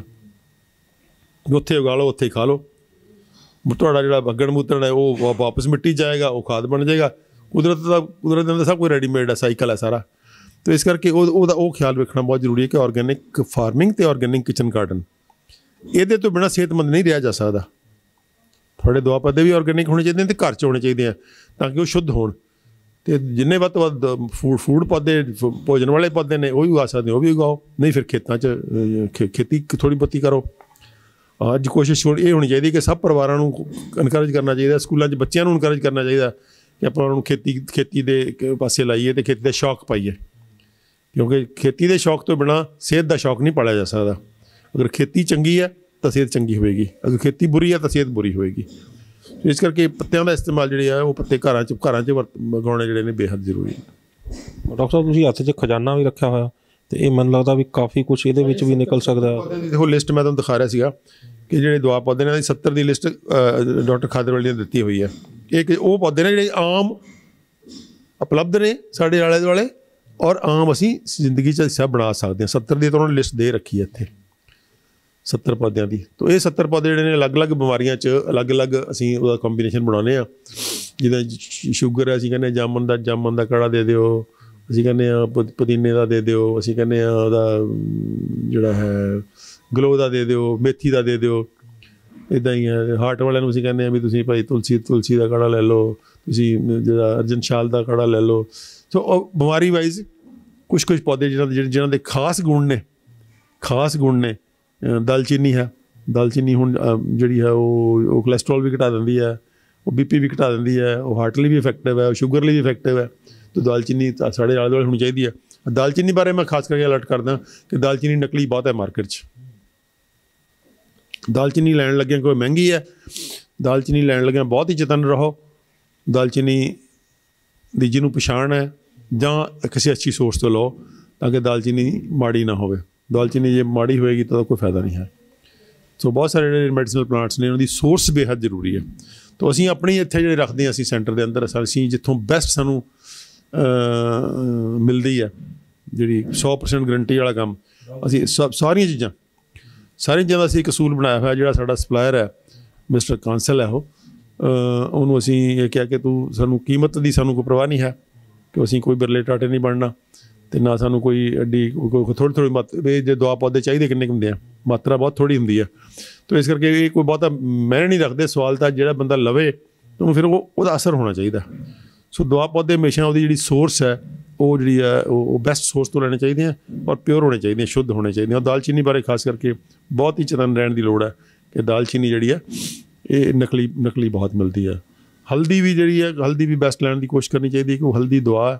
ਉਹ ਦਵਾ ਪੌਦੇ ਸਾਰੇ ਦੇ ਵੈਸੇ ਤਾਂ ਆਪਾਂ ਨੂੰ ਜਨਰਲੀ ਰੱਖਣਾ ਚਾਹੀਦਾ ਕਿ ਦਵਾ ਪੌਦਾ ਤਾਂ ਹੀ ਦਵਾ ਪੌਦਾ ਬਣੇਗਾ ਜੇ ਉਹ ਅਸਲ ਹੋਏਗਾ ਤਾਂ ਜਾਂ ਤੇ ਵਧੀਆ ਹੋਏਗਾ ਤਾਂ। ਇਸ ਕਰਕੇ ਇਸ ਗੱਲ ਦਾ ਵੀ ਬਹੁਤ ਖਿਆਲ ਰੱਖਣਾ ਚਾਹੀਦਾ ਕਿ ਆਪਾਂ ਦੀ ਸ਼ੁੱਧਤਾ ਜਿਹੜੀ ਹੈ ਔਰ ਫਰੈਸ਼ਨੈਸ ਜਿਹੜੀ ਹੈ, ਬਹੁਤ ਪੁਰਾਣੇ ਨਹੀਂ ਹੋਣੇ ਚਾਹੀਦੇ, ਪੁਰਾਣੇ ਖਰਾਬ ਹੋ ਜਾਂਦੇ ਆ, ਬਹੁਤ ਪੁਰਾਣੇ ਵੀ ਨਾ ਹੋਣ ਤੇ ਸ਼ੁੱਧ ਹੋਣ ਤੇ ਆਪਣੇ ਸਭ ਤੋਂ ਵਧੀਆ ਜੇ ਘਰਾਂ 'ਚ ਸਾਡੇ ਉਗਾਏ ਹੋਣ ਤਾਂ। ਘਰਾਂ ਵਾਲਾ ਮੁਫਤ ਦਾ ਮੁਫਤ ਨਾਲੇ ਫਰੈਸ਼ ਦਾ ਫਰੈਸ਼ ਤੇ ਨਾਲੇ ਤਸੱਲੀ ਤੁਹਾਡੀ।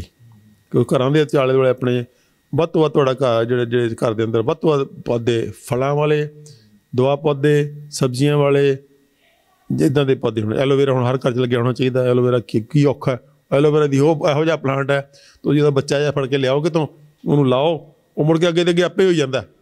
ਆਪਣੇ ਆਪ ਨੂੰ ਆਪੇ ਵਧਾ ਲੈਂਦਾ। ਉਹ ਤੁਹਾਨੂੰ ਕੋਈ ਲੋੜ ਨਹੀਂ ਹੈ ਕਰਦੇ ਇਸ ਨਾਲ ਕੀ ਔਲੇ ਦਾ ਰੁੱਖ ਲਾਉਣਾ ਕੀ ਔਖਾ ਘਰ ਲਾ ਲਓ ਔਲੇ ਦਾ ਕੀ ਕੀ ਕਿੱਡਾ ਕੁ ਲਾਉਣਾ ਔਲਾ ਲਾ ਲਓ।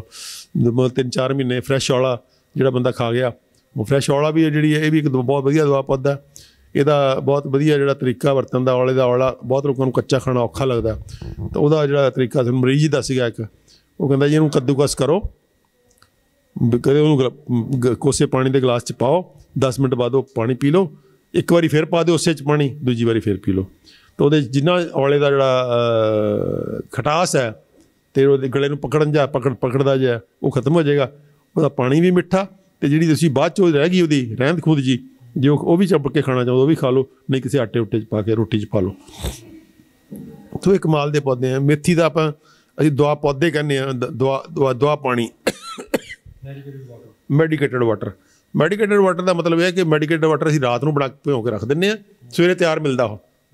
ਉਹ ਵੀ ਇੱਕ ਕਿਸਮ ਦਾ ਕਾੜਾ ਹੀ ਹੈ ਲੇਕਿਨ ਉਹਨੂੰ ਉਬਾਲਣ ਦੀ ਲੋੜ ਨਹੀਂ ਹੈ। ਤੇ ਕਿਸ ਕੰਮ ਆਉਂਦੇ ਨੇ ਜੀ ਉਹ ਥੋੜੇ ਜੋ ਵੀ ਦੱਸ ਦੋ ਮੈਡੀਕੇਟਡ ਵਾਟਰ ਕਿੱਦਾਂ ਕਿੱਦਾਂ ਕਿਹੜੇ ਕਿਹੜੇ ਦਾ ਬਣਦਾ? ਨੇ ਮੈਡੀਕੇਟਡ ਵਾਟਰ ਦਾ ਇਹ ਵੀ ਕੁਝ ਪੌਦਿਆਂ ਦੇ ਵਧੀਆ ਬਣਦੇ ਆ। ਮੈਡੀਕੇਟਡ ਵਾਟਰ ਦਾ ਮਤਲਬ ਇਹ ਹੁੰਦਾ ਕਿ ਕੋਸ ਗਰਮ ਪਾਣੀ 'ਚ ਰਾਤ ਨੂੰ ਦੇ ਗਲਾਸ 'ਚ ਭਿਓ ਕੇ ਰੱਖੋ ਤੇ ਸਵੇਰੇ ਉਹ ਤਿਆਰ ਮਿਲ ਗਿਆ ਤੁਹਾਨੂੰ ਪੁਣ ਕੇ ਪੀ ਲਓ ਬਸ। ਜੇ ਸਰਦੀ ਹੈ ਤਾਂ ਥੋੜਾ ਕੋਸਾ ਕਰ ਲਓ, ਜੇ ਗਰਮੀ ਹੈ ਤਾਂ ਉਦਾਂ ਹੀ ਪੀ ਲਓ। ਜਿਵੇਂ ਮੇਥੀ ਦਾ ਪਾਣੀ ਹੈ ਥੋੜਾ ਪੁਰਾਣੇ ਸੱਭਿਆਚਾਰ ਸੀ ਮੇਥੀ ਦਾ ਪਾਣੀ ਜੋੜਾਂ ਵਾਸਤੇ ਪੀਂਦੇ ਸੀ ਲੋਕ। ਜੇ ਜੋੜ ਜੋੜ ਦੁਖਦੇ ਹੁੰਦੇ ਸੀ ਨਾ, ਉਹ ਕਹਿੰਦੇ ਸੀ ਮੇਥੀ ਦਾ ਪਾਣੀ ਪੀ ਲਿਆ ਕਰ। ਤੇ ਚਮਚਾ ਮੇਥੀ ਦਾ ਭਿਓ ਕੇ ਰੱਖੋ ਰਾਤ ਨੂੰ, ਗਰਮ ਪਾਣੀ 'ਚ ਪਾ ਕੇ। ਸਵੇਰੇ ਉਹ ਤੁਹਾਡਾ ਮੇਥੀ ਦਾ ਪਾਣੀ ਤਿਆਰ। ਸਾਰਾ ਰੰਗ ਰੁੰਗ ਸਾਰਾ, ਸਾਰੇ ਦੇ ਗੁਣ ਜਿਹੜੇ ਨੇ ਉਹ ਪਾ- ਪਾਣੀ 'ਚ ਆ ਜਾਂਦੇ ਆ। ਤੇ ਉਹ ਗੁਣ ਮੇਥੀ ਖਾਣੀ ਹੁਣ ਕਿੱਡੀ ਔਖੀ ਹੈ, ਸੁੱਕੀ ਮੇਥੀ ਨੂੰ ਕਿੱਦਾਂ ਵਰਤੋਗੇ ਤੁਸੀਂ, ਕਿੱਦਾਂ ਹਜਮ ਹੋਊਗੀ ਉਹ? ਤਾਂ ਉਹ ਉਹ ਕੋਈ ਡਿਫਰੈਂਟ ਜਿਹਾ ਮਸਲਾ ਹੋ ਗਿਆ, ਉਨੀ ਖਾਣੀ ਵੀ ਔਖੀ ਹੈ। ਤੇ ਮੁੜ ਕੇ ਜਿਹੜੀ ਮੇਥੀ ਬਚ ਗਈ ਉਹ ਜਦੋਂ ਚੱਬ ਸਕਦੇ ਹੋ ਚੱਬ ਲਓ, ਉਹਦੇ 'ਚ ਵੀ ਗੁਣ ਨੇ। ਨਹੀਂ ਚੱਬ ਸਕਦੇ ਤਾਂ ਉਹਨੂੰ ਆਟੇ 'ਚ ਗੁੰਨ ਲਓ ਜਾਂ ਸਬਜ਼ੀ 'ਚ ਪਾ ਲਓ। ਇਹ ਤਾਂ ਗਲੋ ਦੀ ਇੱਕ ਟਹਿਣੀ ਹੈ। ਗਲੋ ਘਰ ਚਲਾਉਣੀ ਕਿੰਨੀ ਕੁ ਔਖੀ ਹੈ, ਗਲੋ ਦਾ ਵੀ ਇਹੀ ਹੈ ਐਲੋਵੇਰਾ ਵਾਲਾ ਹਿਸਾਬ ਹੈ। ਗਲੋ ਦੀ ਕਿਸੇ ਮਾੜੀ ਜੀ ਚੀਜ਼ ਨੂੰ ਲੈ ਕੇ ਆਪਣੇ ਘਰ 'ਚ ਕਿਸੇ ਥਾਂ ਤੇ ਖੂੰਜੇ 'ਚ ਲਾ ਦਿਓ। ਜੋ ਮਰਜ਼ੀ ਲਾ ਦਿਓ, ਉਹਦੀ ਉਹਨੂੰ ਵਰਦਾਨ ਹੈ ਕਹਿੰਦੇ। ਉਹਨੂੰ ਵਰਦਾਨ ਹੈ, ਜਿੱਥੇ ਗਿਰੇਗੀ ਉਹ, ਉੱਥੇ ਹੀ ਉਗ ਖੜੇਗੀ। ਅੰਬੇ ਹਾਂ, ਉੱਥੇ ਉਗ ਖੜੇਗੀ। ਉਹ ਗਲੋ ਇੱਕ ਵੰਡਰਫੁਲ ਵੇਲ ਹੈ। ਕਿ ਇਹਦੀ ਇਹਦੀ ਚਾ- ਆਪਣੀ ਚੀਚੀ ਦੀ ਨਹੀਂ ਮੋਟੀ ਲੈਣੀ ਹੁੰਦੀ ਹੈ। ਬਹੁਤ ਮੋਟੀ ਜਿਹੜੀ ਸੁੱਕ ਜਾਂਦੀ ਹੈ ਬਹੁਤ ਜ਼ਿਆਦਾ। ਚੀਚੀ ਜਿੰਨੀ ਮੋਟੀ ਤੇ ਚੀਚੀ ਜਿੰਨੀ ਲੰਬੀ 4 ਇੰਚ ਦੀ। 4 ਇੰਚ ਲੰਬੀ ਜਿਹੜੀ ਹੈ ਜਿਹੜੀ ਜਿਹੜੀ ਜਿਹੜੀ ਟਹਿਣੀ ਹੈ ਉਹ ਇੱਕ ਡੋਜ਼ ਹੈ ਇੱਕ ਬੰਦੇ ਦੀ। ਉਹਨੂੰ ਤੁਸੀਂ ਕੁੱਟੋ ਫਿਰ ਮਾੜਾ ਜਿਹਾ ਮਾੜਾ ਜਿਹਾ ਕੁੱਟ ਲਓ ਤੇ ਗਰਮ ਪਾਣੀ 'ਚ ਭਿਓ ਕੇ ਰਾਤ ਨੂੰ ਰੱਖ ਦਿਓ ਸਵੇਰੇ ਪਾਣੀ ਪੀ ਲਓ। ਕਿੰਨਾ ਸੌਖਾ ਕੰਮ ਹੈ। ਬਸ ਅਸੀਂ ਉਹੀ ਭੱਜੀ ਫਿਰੀ ਜਾਂਦੇ ਆ ਗਲੋ ਤਾਂ ਜਿਹੜੀ ਜਿਹੜੀ ਸਾਡੇ ਟ੍ਰੈਡੀਸ਼ਨਲੀ ਇਹਨੂੰ ਯੂਜ਼ ਕਰਦੇ ਸੀਗੇ ਉਹ ਤਾਂ ਕਰਦੇ ਸੀਗੇ ਉਹਦੇ ਚ। ਬੁਖਾਰਾਂ ਚ। ਕੋਈ ਵੀ ਬੁਖਾਰ ਇਨਫੈਕਸ਼ਨ ਹੈ, ਇਹ antibiotic antibiotic antiviral anti fungal ਦੇ ਤੌਰ ਤੇ, ਇਹ ਇਹ ਬਹੁਤ ਜ਼ਿਆਦਾ ਸੀ। ਲੇਕਿਨ ਗਲੋ ਦੇ ਅੰਦਰ ਤਾਂ ਇੰਨੇ ਗੁਣ ਨੇ ਕਿ ਗਲੋ ਦਾ ਗੁਣ ਦੇ ਤੇ ਕਿਤਾਬ ਲਿਖੀ ਜਾ ਸਕਦੀ ਹੈ। ਬਹੁਤ ਲੋਕ ਨੇ 100-100 ਗੁਣ ਗਣਾਇਆ ਹੋਇਆ ਲੋਕਾਂ ਨੇ ਕਿ ਕੋਈ ਅੰਗ ਨਹੀਂ ਹੈ ਜਿਹਨੂੰ ਫਾਇਦਾ ਨਹੀਂ ਪਹੁੰਚਾਉਂਦੀ। ਹਰ ਇਮਨ ਹਾਰਟ 'ਚ ਵੀ ਇਫੈਕਟਿਵ ਹੈ ਰੈਸਪੀਰੇਟਰੀ ਪ੍ਰੋਬਲਮ ਇਫੈਕਟਿਵ ਹੈ, ਹਰ ਥਾਂ ਤੇ ਜਿੱਥੇ ਜਿੱਥੇ ਕੁਝ ਨਹੀਂ, ਉੱਥੇ ਗਲੋ ਦੇ ਦਿਓ। ਗਲੋ ਮਤਲਬ ਐਵਰ ਗ੍ਰੀਨ ਤੇ ਹਰ ਬਿਮਾਰੀ 'ਚ ਇਫੈਕਟਿਵ ਪੌਦਾ ਹੈ, ਹਲਦੀ ਵਾਂਗੂ। ਤੋ ਇਹ ਇਹ ਜੇ ਕੁਝ ਪੌਦੇ ਨੇ ਜਿਹੜੇ ਮਤਲਬ ਬਹੁਤ ਹੀ ਕਮਾਲ ਦੇ ਨੇ ਤੇ ਜਿਹੜੇ, ਜਿਹਨਾਂ ਨੂੰ ਅਸੀਂ ਗਲੋਰੀਫਾਈ ਕਰਨਾ ਚਾਹੀਦਾ ਹੈ ਇਹਨਾਂ ਨੂੰ ਜ਼ਿਆਦਾ, ਇਹ ਸਾਡੇ ਹੀਰੋ ਹੋਣੇ ਚਾਹੀਦੇ ਆ ਸਾਡੇ ਸਾਡੇ ਸਾਡੇ ਭੋਜਨ ਦੇ ਤੇ ਸਾਡੀ ਹਾਂ, ਮਰਿੰਗਾ ਵੀ ਵਧੀਆ ਜੀ ਮਰਿੰਗਾ ਸੁਹਾਂਜਣੇ ਚ ਵੀ ਬਹੁਤ ਗੁਣ ਨੇ, ਸੁਹਾਂਜਣੇ ਚ ਬਹੁਤ ਗੁਣ ਨੇ ਡਰਮਸਟਿਕ ਕਹਿੰਦੇ ਇਹਨੂੰ, ਸੁਹਾਂਜਣੇ ਦੀ ਹਰ ਚੀਜ਼ 'ਚ ਗੁਣ ਨੇ, ਪੱਤਿਆਂ, ਪੌਦੇ, ਪੱਤੇ ਦੇ ਜਿਹੜੇ ਨੇ ਉਹਦੇ ਚ ਤੁਸੀਂ ਉਹਦੀ ਜੋ ਮਰਜ਼ੀ ਚਾਹ ਦੇ ਤੌਰ ਤੇ ਬਣਾਓ, ਭੁਰਜੀ ਬਣਾਓ ਜੂਸ ਚ ਪਾਓ ਸੂਪ ਚ ਪਾਓ, ਮਰਿੰਗਾ ਦੋ ਤਰ੍ਹਾਂ ਦਾ ਆ ਰਿਹਾ। ਇੱਕ ਇੱਥੋਂ ਦਾ ਲੋਕਲ ਮਰਿੰਗਾ ਥੋੜਾ ਜਿਹਾ ਕੌੜਾ ਹੈ ਲੇਕਿਨ ਜਿਹੜਾ ਦੱਖਣ ਵਾਲਾ ਮਰਿੰ- ਮਰਿੰਗਾ ਹੈ ਉਹ ਅਸੀਂ ਅਤਕੀ ਬੀਜ ਪਿਛਲੀ ਵਾਰੀ ਵੰਡੇ ਸੀਗੇ।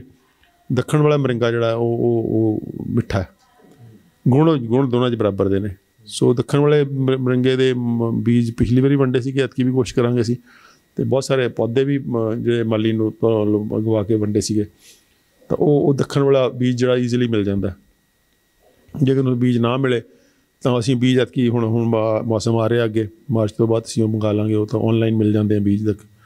ਤਾਂ ਪਿਛਲੀ ਵਾਰੀ ਅਸੀਂ ਕਿਲੋ ਕਿਲੋ ਕਿਲੋ ਬੀਜ ਮੰਗਾਏ ਸੀਗੇ ਤੇ ਬਹੁਤ ਲੋਕਾਂ ਨੂੰ ਵੰਡੇ ਸੀਗੇ। ਤਾਂ ਉਹ ਜਿਹੜਾ ਹੈ, ਸੋ ਇਹ ਇਹ ਸ਼ੌਕ ਜਿਹੜੇ ਨੇ ਤੇ ਇਹ ਇਹ ਪੈਸ਼ਨ ਜਿਹੜਾ ਹੈ ਕਿ ਕਿ ਆਪਣੇ ਆਲੇ ਦੁਆਲੇ ਸਿਹਤ ਕ੍ਰੀਏਟ ਕਰੋ।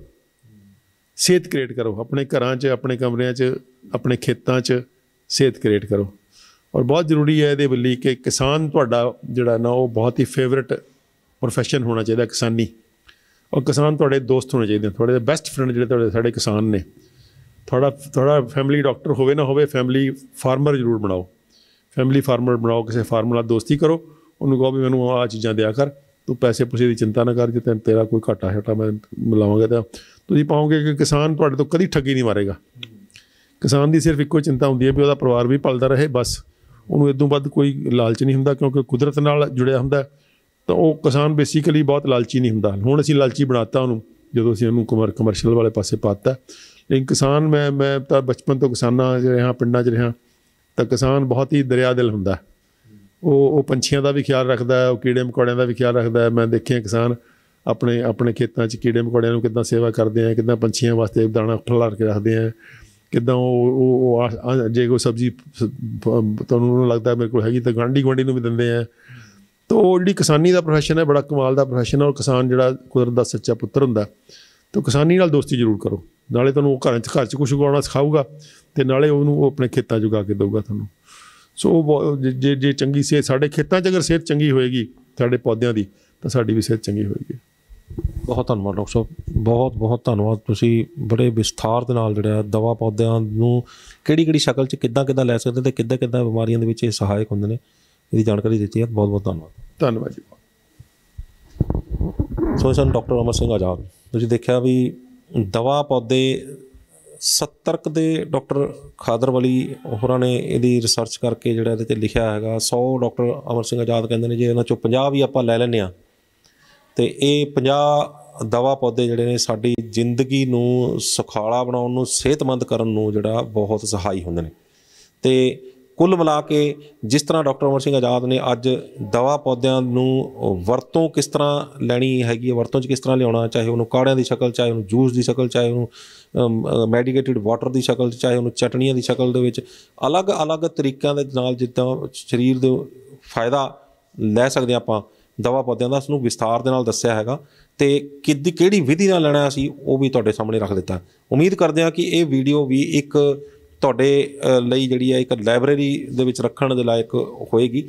ਤੇ ਜਦੋਂ ਵੀ ਕੋਈ ਵੀਡੀਓ ਦੇ ਵਿੱਚ ਕਿਸੇ ਤਰ੍ਹਾਂ ਦਾ ਸਾਨੂੰ, ਅਸੀਂ ਤੁਹਾਨੂੰ ਜਾਣਕਾਰੀ ਦੇਵਾਂ ਵੀ ਕਿਹੜਾ ਪ- ਪੌਦਾ ਦਿੱਤਾ ਤੁਸੀਂ ਇਸ ਵੀਡੀਓ ਨੂੰ ਖੋਲ ਕੇ ਤੁਸੀਂ ਉਹਦੇ ਵਿੱਚੋਂ ਜਾਣਕਾਰੀ ਲੈ ਸਕਦੇ ਹੋ।